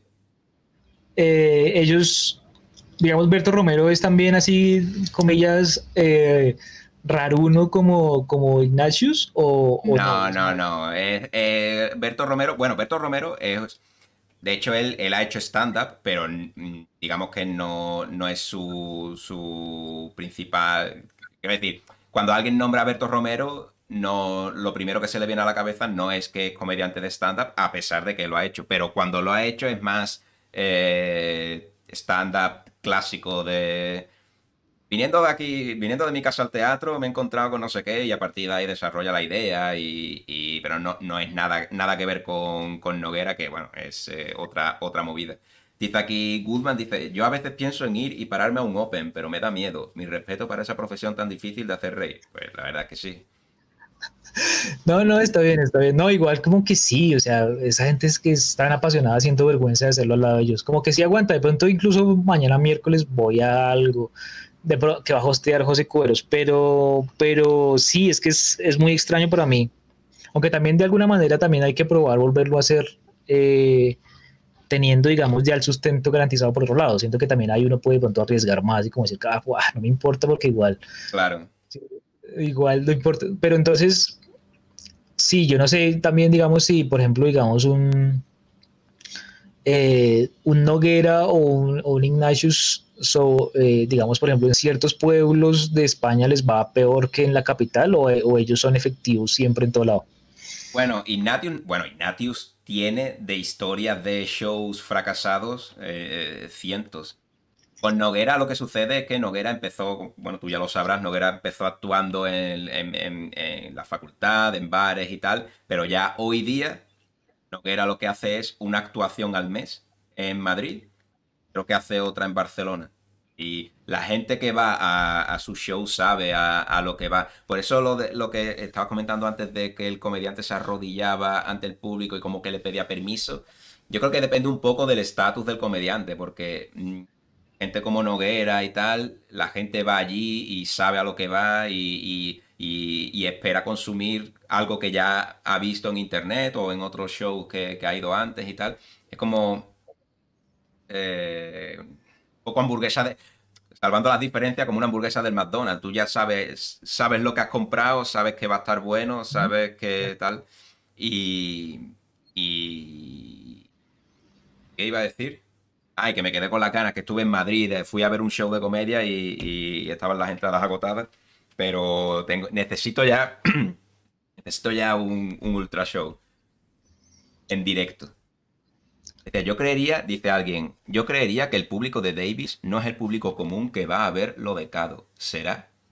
Carlos.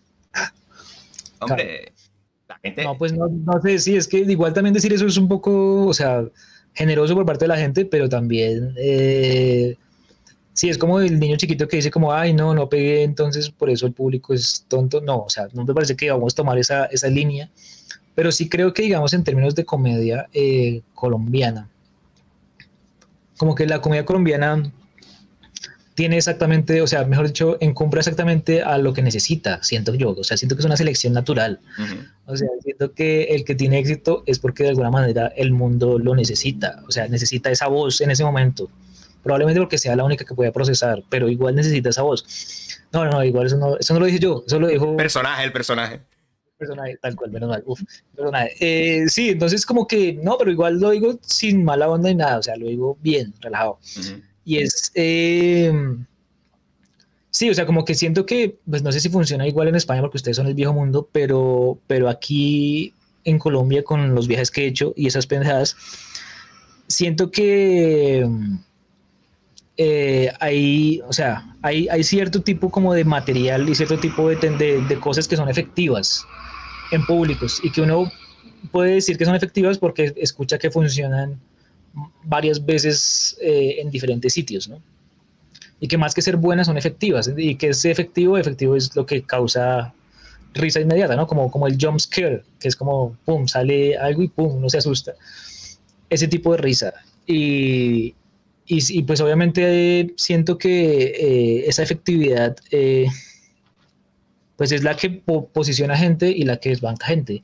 Porque, digamos, si alguien no es efectivo, en términos comerciales también, ¿no? No llena shows, no le compran boleta, pues eso quiere decir que las productoras que son las que organizan las giras por el país y que tienen ya colonizado el mercado de los bares y, de los sitios, pues obviamente no se van a fijar en uno porque van a decir, no, pero es que usted tiene sus seguidores, pero, pero el último show que hizo lo canceló eh, eh, no, no, tiene ningún producto en internet. Eh, puede que tenga un show de una hora y que usted me diga que lo va a hacer bien, pero no veo que haya un respaldo de fans, entonces nos tocaría trabajar de más para llegar a ese público, o sea, para aglutinar a ese público en esos bares. En cambio, si llamamos a X o Y persona, esa gente ya de una ya se va a llenar. Entonces también fue algo de eso, como que de decir como, pues oye, yo, yo quiero intentarlo, pero si la industria me cierra las puertas y el público no responde, pues bueno, tampoco les voy a rogar, o sea, o sea tengo que, igual tengo que pagar la rienda, o sea, así ustedes no compren. Entonces, pues fue como, bueno, pues hagamos otras cosas y ya. ¿Quién consideraría que son en, en Colombia los más efectivos, como lo has denominado tú? Pues, por ejemplo, Franco Bonilla es muy efectivo. Obviamente también es muy efectivo porque es muy buen storyteller y, es muy perro viejo y tiene muchos, muchos recursos. Pero también es efectivo porque, digamos, el, el, charla, el gordo charlatán, que es, digamos, el arquetipo que le encarna, el gordo charlatán em, es alguien que es, que es, que es muy empático en ganarse la gente. O sea, es efectivo sobre todo por su personalidad tiene una personalidad también como de, de, de, de hablar mucho y, tiene, y, de, ser quien convence, pues que es como el paisa, ¿no? Que es muy bueno, no lo estoy, describiendo, no estoy diciendo ni que sea, eh, ni que sea malo nada, sino estoy describiendo, sino que es muy bueno. Eh, siento que, por ejemplo, un Sebastián Rincón es muy efectivo, que es un que también tiene el dispositivo pum, pum, muy, muy afinado, muy, muy buenos. Eh, obviamente Camilo Sánchez es muy efectivo y Brian Mora por la misma razón, y es que ambos encarnan o sea, dentro de su discurso están hablando como el personaje pobre que la logró. Ajá. Claro, eso es, eso es, eso es el monomito clásico, ¿no? Eso es el viaje del héroe clásico. La gente casi que está programada culturalmente para responder a eso. O sea, esto en esa narrativa es como, uy, uy, uy, uy, uy, uy, uy, se va para allá. Y es, no, igual es re bueno porque también ambos son muy buenos con técnica y eso, y tienen ese plus de que, de que supieron seleccionar muy bien a su personaje o encarnar muy bien a su personaje y escribir líneas a ese personaje y, ese personaje realmente vende mucho, ¿no? Bueno, siento que Gabriel eh, empezó siendo muy efectivo, pero también se está arriesgando mucho, ¿no? Por ejemplo, en ese show último que, que, lanzó, que yo no sé si tú alcanzaste a ver el de En qué piensas. Aún no lo vi, me van a matar en el chat, pero aún no lo vi. Vi el anterior, sí que lo vi, el de mi primer aborto sí que lo vi. Bueno, por ejemplo, en mi primer aborto ya hay, ya hay un, un, riesgo que hace Gabriel y es volverse más storyteller, ¿no? O sea, como que dejar de ser un alguien así que remata con, con sus líneas, digamos, grotescas y demás y su personaje, sino, eh, sino que también empezar a, mm, a contar anécdotas, ¿no? Como que, como que después de lo que pasó con Frutiño y eso, como que el man tuvo que empezar a, a ver para dónde iba y parece ser que tomó esa dirección y está bien, que, que, de alguna manera también siente que él dice que está muy influenciado por Franco y que obviamente Franco le, lo ha ayudado mucho en ese proceso, pues igual ellos son muy amigos y bla, bla. Eh, pero, pero sí siento como que muy loable porque digamos en, en, el show ese caducado que yo trataba de hacer, también trataba de implementar un poco eso, pero digamos con mis propias influencias, eh, que es el storyteller, ¿no? El que narra una anécdota y dentro de la narración mete remates o exagera cosas para meter chistes, pero digamos que el hilo conductor es la anécdota en vez de decir la rutina, la anécdota. Es de, muchos de los que salen en Cado y tal, eh, hablan muy, muy bien de Franco en el sentido de como de, mentor, ¿no? Como de el, el, el, padre, ¿no? Como se dice ahora. Tú, tú en, en, cuanto a comedia, ¿de quién dirías que aprendiste más de, de, toda, de toda la peña de Cado? A no llenar shows de quién aprendí de Malangas. okay. Yo Malagón, a ver, me refiero en cuanto a técnica, en cuanto a, a teoría, teoría de stand-up. No, pues yo, digamos que Gabriel y yo crecimos, empezamos juntos, ¿no? Eh, somos como compañeros de generación y como que entre los dos, pues uno va yendo al, al, al Open y, y, va escuchando cosas, pero no es que realmente alguien lo haya sentado, lo haya formado a uno pues digamos, pues porque uno es más introvertido y menos amigable que los demás, o sea, uno se la pasa solo, como un hombrecito. Entonces, eh, digamos que por mi lado sí hubo un momento en que parchaba mucho con Ibrahim, hasta que hizo algo que molestó, pero bueno, no vamos a hablar de eso, pero sí parchaba mucho con Ibrahim, y Ibrahim me mostró mucho, digamos, por ejemplo, Bill Hicks, me mostró Carlin, me mostró cosas, porque yo hasta el momento solamente había escuchado, eh, sí, como a Noguera, eh, a Piedradita, y a Don Gediondo, que bueno, no no, Don Gediondo no, Don Gediondo es, es, es otro colombiano ahí. lo conozco, conozco. A, a, a Luis y a Luis y por ejemplo. Pero, pero, por ejemplo, no conocía a Stanhope, no conocía a otros. Entonces, como ver que algunos comediantes le mostraban a uno, comediantes, que le decían como, oiga, ese man por esa línea que usted dijo está el chiste, ve hacia este man. Uh. Que uno empezaba como a explorarlo ya como, como cuando uno estudia la historia de la literatura o la historia del cine, ya empezar a tomárselo en serio y explorarlo así, de ver shows, de analizarlos, de tal, pues sí siento que Gabriel me enseñó mucho, en ese, sentido, por supuesto. ¿Y consideras eh, que tú enseñaste a, a, cosas, a, sobre todo a los nuevos que iban llegando, quizás? O... No, yo les decía, aléjense de mí, niños, niños, no soy como el, no manches, no, no, no, yo no, les... no, eh, pues, a ver, no, esta conecta es muy pesada. No, pues sí, eh, pues no, no tanto, como que yo me acuerdo que recién 2020 empezó como a medio normalizarse. Abrieron un Open muy cerca de aquí en un sitio que se llama La Tapioquería, que de hecho como que algunos underground fueron grabados ahí, los últimos fueron grabados ahí en La Tapioquería. Entre La Tapioquería y Origen, porque hubo como dos últimas grabaciones. En fin, uno de esos últimos, eh, Tapioquería. El caso es que una vez yo fui y estaba como sentado en una silla y se me acerca un muchacho que yo nunca había visto y para mí fue raro ir porque no había visto a nadie, o sea, todo el mundo era muy nuevo y eran muchachos y como que se me acerca y me dice como, oiga, es que yo voy a pasar en un rato, ¿será que le puedo decir mi rutina? Y yo como, uff. Eso es como charla con fans, ¿eh? Yo, no, yo simplemente dije como, uff, y ya, y como que el man se rió y se fue, pero, pero fue muy chistoso porque fue como, qué extraño, es muy raro, es muy, porque sí, o sea, yo no sabría qué decirle, yo sí me acuerdo que una vez creo que tallería como con 420, doctor 420, en este espacio, o sea, y, y, y, realmente era muy complicado para mí ayudarlos eh, a cualquier cosa porque como que como que ellos ya estaban muy, o sea, ellos habían aprendido a escribir stand-up yendo a, ver stand-up, o sea, ellos eh, eran primero público de stand-up y entonces como que empezaron incluso a ser fans de ciertos comediantes, tal, la, o, pero entonces ya veían lo que más o menos solía funcionar y con base en eso escribían. Entonces cuando venían de pronto aquí a tallerear conmigo, me decían el chiste y yo decía, pues no me gusta mucho el remate, probemos por aquí. Y me decían, no, no, es que este ya es de los que funciona. Este fijo funciona. Y yo como, ah, bueno. Entonces era como algo raro porque como que sí, no se podía, digamos, desarrollar. Y sí, diciendo que igual también a mí me, me interesa como no, igual, lo que les digo, o sea, no es que sea el, el hiperperdedor que, que, no puede hacer un show, no puede hacer reír a la gente, puede hacer reír a la gente, pero y aguantar una hora más o menos, hora y media más o menos. Pero comercialmente no funciona. Pero bueno, en fin, sí, eso. Yo noto, tío, como que, que, que, que piensas que eres menos piensa que puedes hacer menos cosas de las que realmente puedes hacer, tío, me da esa sensación, ¿no? Como que tienes cierta inseguridad en ti mismo, creo, ¿eh? No lo sé. Puede ser. No, pues es que también hay algo que me parece importante aclarar y es que la comedia de con ánimo y la comedia de stand-up es muy distinta. Es decir, son códigos muy distintos.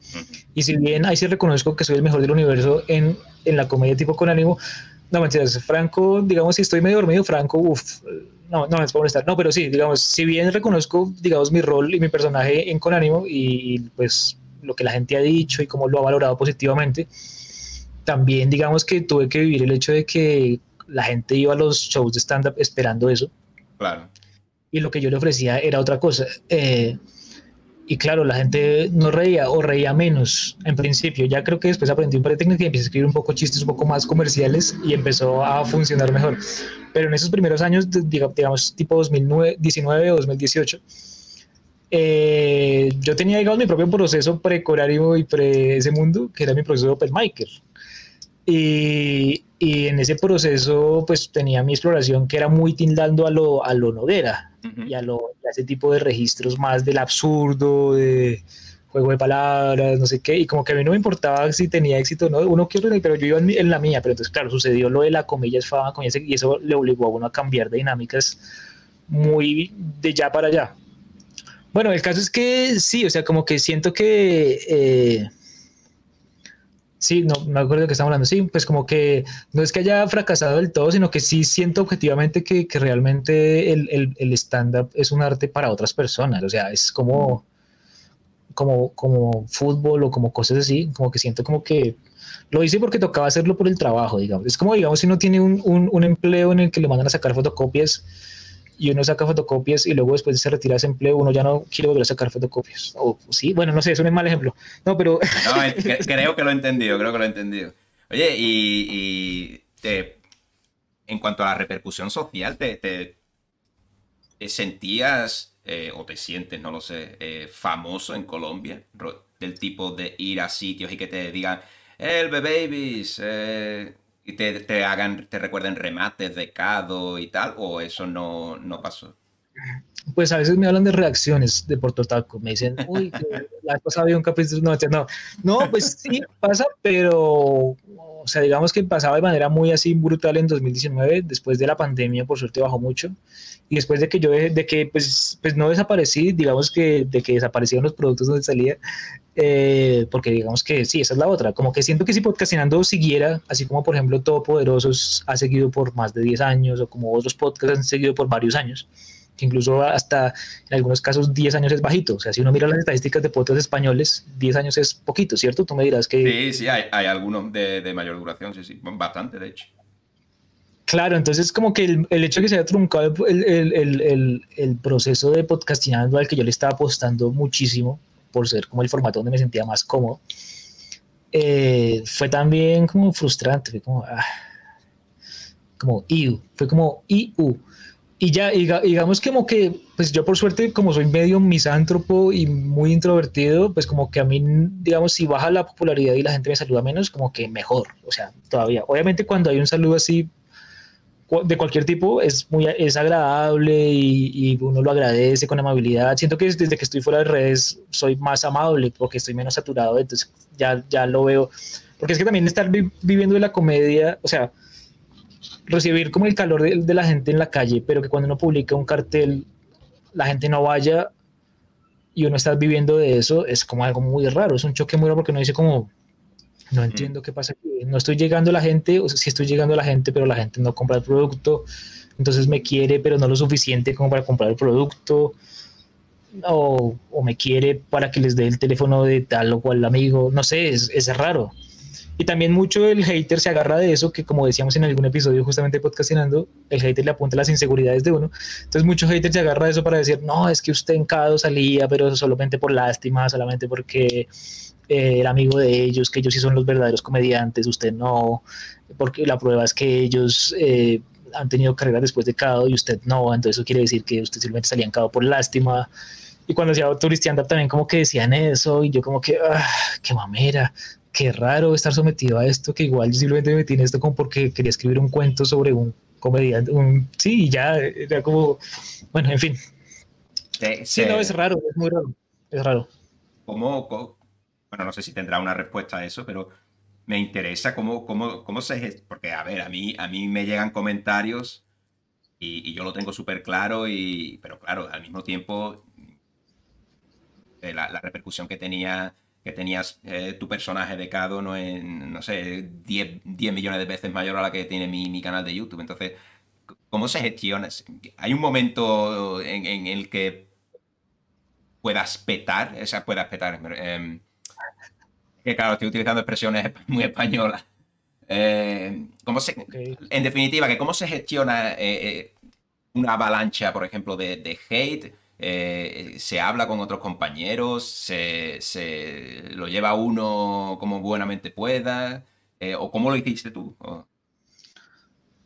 Pues, pues digamos que en principio sí es, bastante raro y molesto porque pues así como al hombre o a la mujer que digamos eh, acosa a alguien escribiéndole sin su consentimiento y escribiéndole cosas obscenas y tal. Asimismo, cuando alguien le escribe a uno sin su consentimiento para molestarlo, es raro, es muy extraño. Y como que el hecho de que uno se haya, origin o sea, originalmente no, sino eh, por, sus propio, por su propia voluntad, como que escogido caminos que lo han aislado de, de, varios círculos porque él prefiere estar solo, que un momento a otro haya mucha gente pendiente, es raro. O sea, es raro y bueno, uno empieza a asumir bien lo de la gente pendiente para bien y como con cariño y tal, pero la gente que lo odia uno es muy raro porque mucho, gran, gran parte del, del, público hater son seguidores, o sea, están siguiendo para ver cómo pueden molestar.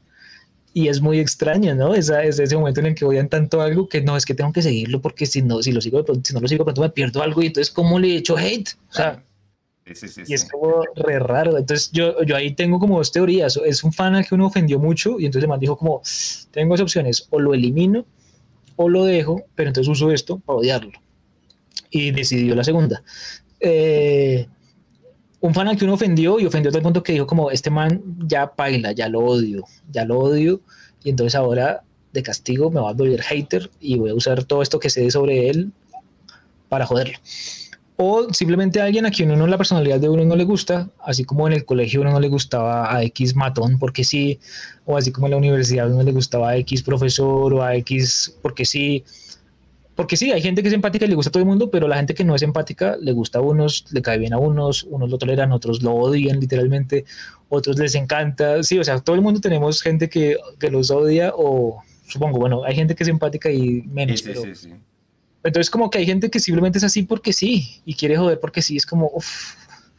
No sé, eso generó, digamos, el cierre de Instagram. Y pues el cierre de Instagram, en principio, muchos comediantes me lo criticaron diciéndome que, pues, que era un estúpido y que porque lo hacía, que, que eso me iba a afectar comercialmente. Y yo decía, pero es que no me, no me está ayudando comercialmente, no veo cómo me puedo afectar comercialmente si no me está ayudando. O sea, ese número no me está sirviendo de nada, realmente. De nada. Entonces fue como, sí, no, sí, como distractor, realmente. Ah, claro, porque tú, tampoco, imagino que tampoco consumirías Instagram como fuente de, no sé, para estar enterado de shows o de movidas que, a ti te interesen. Era solo por trabajo, ¿no? Me has comentado. Sí, no, y también que empezó a ser un poco doloroso porque digamos que el hecho de que pues, como que gran parte de mis amigos con quienes antes hacíamos varios programas juntos, ahora estuvieran haciendo programas y mí, como que el hecho de seguirlos implicaba enterarme de cada cosa nueva que hacían, era como, uff, sí era como recordarme, no lo llamaron a usted, no lo llamaron a usted, no lo llamaron a usted, pero igual le hablan todo bien, pero no lo llamaron a usted. Sí, era como, sí, como eso. Entonces era como, pues, bueno, ni modo. Sí, era también muy tóxico, por eso digo que fue más por salud mental. Y como que yo prefería, digamos, había gente que me decía, venda la cuenta, pero yo decía, no, igual tampoco quiero que la gente buena onda, que sí estaba afiliada a, o como que me seguía por buena onda, se vaya a someter al hecho de que ahora tiene un nuevo un nuevo nombre o una nueva razón social o que alguien vaya a empezar a traficar con esos datos para algo. Entonces dije, no, voy a renunciar al dinero y simplemente la voy a cerrar. No, o sea, no voy a venderla ni nada. Y ya. Porque sí, es como, digamos, si uno se va de un sitio dando un portazo, pero antes de dar el portazo se devuelve y se asegura de, que todos pidan su Uber para sus respectivas casas y lo paga. Pero igual se va. Entonces es como, ¿qué? Se está yendo muy raro. Qué raro. No, hay que irse así, pum, Batman, a la Batman. O sea, cuando volteas a mirar, ya no está. Ya no está. Y no sabe por qué. Bueno, pues, nos quedaremos con, con esa última reflexión cuando cuando uno se va hay que irse como Batman. Tal cual. Eh, bueno, David, yo no sé, hemos tenido aquí una charla ah, desde mi punto de vista bastante interesante. ¿eh? Eh, se han hablado cosas que no hablamos en las otras dos veces que, hemos hablado. Y bueno, antes de, irnos, yo quería, no sé si, si quieres dejar un último mensaje de dónde encontrarte, de si, si estás haciendo algún tipo de, proyecto del que podamos estar enterados para tenerte un poco bicheado o prefieres que como ermitaño te dejemos tranquilo y, y, en, el retiro. Em, pues, aun si suena ridículo, yo sigo insistiendo en hacerle promoción, eh, propaganda a rayones de cine, porque me parece chévere. Pues yo sé que no todo el público está interesado en el cine, pero eh, la gente que está interesada en el cine, pues de pronto recibe la información de escuchar un podcast de comedia, de, o sea, no de comedia, más como de conversación, de entrevista, pero también de anécdota absurda sobre cine. Entonces, como que, bueno, en fin. Y de hecho, quería decirle a Porto que al fin vamos a hacer un episodio de cine español más específico o, o no te suena tanto. Me está preguntando Sí, sí, sí, que si te animas a hacer un otro episodio sobre cine español, porque siento que hacer un episodio sobre cine español sin un español es como hablar de, afrodescendientes como sí. Sí, no sé, es como, pero, pero en, en, rayones de cine dices. Eh, sí, en rayones de cine. Sí, claro, sí, sí, sí, sí, claro, claro. Sí, Mientras no sea un martes o un jueves, eh, pues eh, perfecto. Ah, ok. Pero digamos, ¿tienes algunas, por ejemplo, este man Rodrigo Sorogoyen reciente que la ha petado con esta de Asbestas, ¿no? La película Asbestas. Asbestas, sí, el, gallego, sí, sí, sí. Eh, lo, hombre, sí, eso, planteame eh, la idea del, programa en sí sobre eh, lo que sea y, lo hacemos, lo hacemos. Claro que sí, claro que Yo creo que un monográfico, de pronto algún director que tú sientas que te guste mucho españolete, sería re bueno abordarlo así. Vale, vale, vale, vale, vale. Sí, sí, sí, sí. Bueno, ahí, miramos bien entonces. No, no, me, no, me, digas de hacerlo mañana, pero eh, para, para sí, en algún momento. Para, para, poder preparármelo bien y tal, y, perfecto. Dice, ¿dónde está ese podcast? Pregunta. Eh, Rayones de cine. Spotify, está en Spotify. Spotify. Eh, y la gente también puede ver un podcast que ese sí es un poco teniendo más a la comedia, pero ya con gente más grande, con gente cuarentona. Ajá que se llama Doña Estéreo. Doña Estéreo. Doña es como señora, dicho de una manera muy, muy chabacana, digamos. Y tenemos un podcast, sí, donde charlamos y ahí ese, ese, sí está en mi canal de YouTube. Y en mi canal de YouTube subo cosas, realmente, sí. O sea, estuve subiendo canciones un tiempo, pero, pero, pero mi idea también es como seguir, por ejemplo, en algún momento hacer un clasificado, números, seguir con la serie clasificada. O sea, yo todo ese material lo tengo, yo lo puedo editar, tengo permiso de todos. Simplemente es como como que cuando tenga el tiempo lo haré, el documental de Malangas, como que hay proyectos que se pueden mover en el canal aprovechando el público que queda, me parece bien. Y sí, si en algún momento se puede hacer stand-up, de pronto se podría hacer, pero es que sí, no veo industrialmente cómo. Pero bueno, que de alguna forma u otra, en alguna plataforma u otra, eh, estará Davis en algún momento, está ahí, aparece de vez en cuando para hacer un podcast aquí, eh, quizás un clasificado por allá, eh, está presente. Se ha ido de Instagram, pero está presente. No, y además que sí hay un formato, pero es un formato muy raro que se llama La Perra del Podcast. Y es que yo hago podcast gratis con cualquiera que me lo ofrezca. O sea, soy la perra del podcast. Entonces, eh, con, el, con, digamos con ese, con ese hashtag, La Perra del Podcast, se han hecho algunos podcasts que obviamente nadie ve aquí en Bogotá, pero ese formato. Entonces, si algún españolete tiene algún podcast eh, sospechoso y quiere un invitado raro, yo digo que sí a todo. Bueno, aquí, aquí estaban preguntando, en el chat estaba preguntando que por qué David le da visibilidad a los colonizadores, así que no sé yo si, si es... no, esa, esa discusión de colonizadores. No, de hecho, no, de hecho, pues a mí me parece importante el cine español porque es, es, es, un, es un, cine de muy alta calidad y hay varios cineastas, eh, como pues desde los noventeros, Amenábar, Almodóvar, Urbizu, que es previo, eh, Chicho, eh, Iván Cerrador y toda esa gente, los Bardem. O sea, como que es una tradición de cine muy duro y los españoles saben narrar bien, saben narrar buenas historias y son buenas historias narradas en nuestra lengua. Y sí, como me parece chévere, realmente sí. Y sin embargo, se, desprestigia bastante el cine español aquí en España. Como que. ¿Ah, sí? Sí, sí, aquí hay una imagen de cine español, como el cine español. Como. Antes se decía, vamos a ir al cine, vale. Vamos a ver una película, pero no será española, ¿no? Española no. Es como que el cine español tiene una imagen eh, bastante... Y eso ha bajado menos hoy día, pero sigue estando, tiene una imagen de, cine de, baja calidad, de malo, sí, sí, sí. Sin embargo, hay obras maestras que, bueno, y, personajes históricos que, son, pues, eh, piezas fundamentales en, la evolución del cine, por supuesto. Pero sí, sí, sí, curioso. Yo creo que es un poco eso de que nadie es profeta en su tierra, ¿no? Como que imagino que en, en ciertos casos pasará también en Colombia que lo propio como que gusta menos, ¿no? No sé si. Sí, pues de hecho hay una película colombiana que está nominada al Goya y todo el mundo la estaba tratando re mal hasta que la nominaron al Goya, como, ah, no, obra maestra, perdón, perdón, obra maestra, obra maestra. Se llama La Jauría, ¿no? La Jauría. Sí, no, pero igual gracias a los Goya yo conocí, por ejemplo, Orbizu, a No Habrá Paz para los Malvados en 2012, yo no lo hubiera conocido si no hubiera ganado el Goya Mejor Película. Y a, bueno, a, este man eh, Trueba, y a otros, ¿no? que pero entonces los Trueba, los los, los Goya son muy conocidos eh, allá en, España, o sea, la gente lo celebra como si fuera el Oscar español o eso es solamente en la categoría de la prensa. No, no, a ver, la gente, eh, para, no, o sea, me refiero, no, no es, el día de los Goya no, no es que toda España esté viendo eh, los Goya, pero sí que, hombre, son los Oscar españoles, sí, sí, en ese sentido sí, es como para la gente que mm, le interesa un poco el cine, sí que está en, la onda y bueno, y al día siguiente abre informativos con la película ganadora y tal. Pero bueno, un partido, el partido de hoy de España contra Marruecos tuvo más audiencia que los Goya, seguro. No, pues claramente el fútbol, el fútbol yo sí tengo un problema con el fútbol, no fue con el fútbol, pero bueno. Pero bueno, no, te iba a decir que podríamos hacer un episodio hablando de los Goya en general. O hablando de eh, Bollero. Yo no sé si vi, que, la, cuál es la percepción de Bollero allá. ¿Se conoce mucho a Carlos Bollero, el crítico del mm, país? No, es, que la crítica de cine tampoco es eh, como un fenómeno en sí, ¿sabes?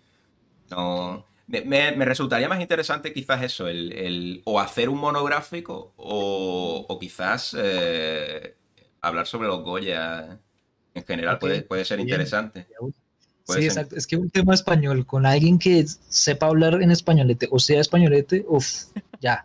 El combo, el combo, el combo. Sí, ya, no, es que ni siquiera el combo, es lo mínimo, porque, porque sí, o sea, como que hay un amigo que sabe mucho de Sorogoyen y es fan de Sorogoyen, aunque no ha visto lo que hicieron ahorita de, Historias para no dormir, ¿no? Que hicieron como una especie de temporada reboot, eh, remake, de historias para no dormir, usando a Paco Plaza, a Rodrigo, a Vigalondo y a, y a este otro man para que dirigieran episodios que ya había hecho Chicho antes.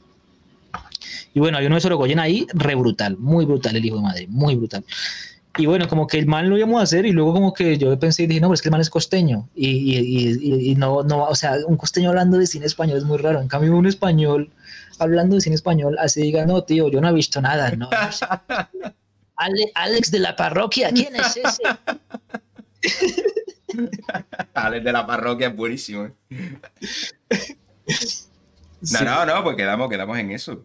Quedamos en eso. Dale, dale. No, pero entonces te iba a decir sí, eh, qué medio usamos para contactarnos más seguido, porque si no fuera por, por porque me dio por escribirte por YouTube, no, no logro. Hombre, te, te, paso, te paso mi WhatsApp, pero te lo pasaré por susurro. por el, por, por el mismo, por el chat de Twitch, ¿vale? eso, de una, y ahí quedamos para coordinar lo, de, lo del podcast. Bueno, pues muchas gracias por recibirme aquí en tu No, no, muchas gracias a ti. Teníamos esta charla pendiente desde hace meses, diría yo, y bueno, con un, con un par de problemitas iniciales por mi parte, pero se solucionaron y a la gente que, que nos está viendo, que aguantó mientras eh, solucionábamos todo, muchas gracias. Espero que os haya gustado esta charla que hemos tenido aquí con Davis que vaya sido entretenida. Probablemente la, resuba en, el, en YouTube, porque yo creo que hay cosas bastante interesantes. Sigo firme, dicen por ahí, perfecto. Y nada, chicos, yo voy a cerrar también stream. Aquí son ya casi las 12 de la noche. Y nada, Davis, espero que hayas estado cómodo y quedamos la próxima en, en Rayones de Cine, entonces. De una, sí, ahí cuadramos para entonces ir a, ir a Rayanes. Perfecto. De una, muchas gracias por, por prestarte para, para la guachafita. Del tirón. Chicos, nos vemos el jueves.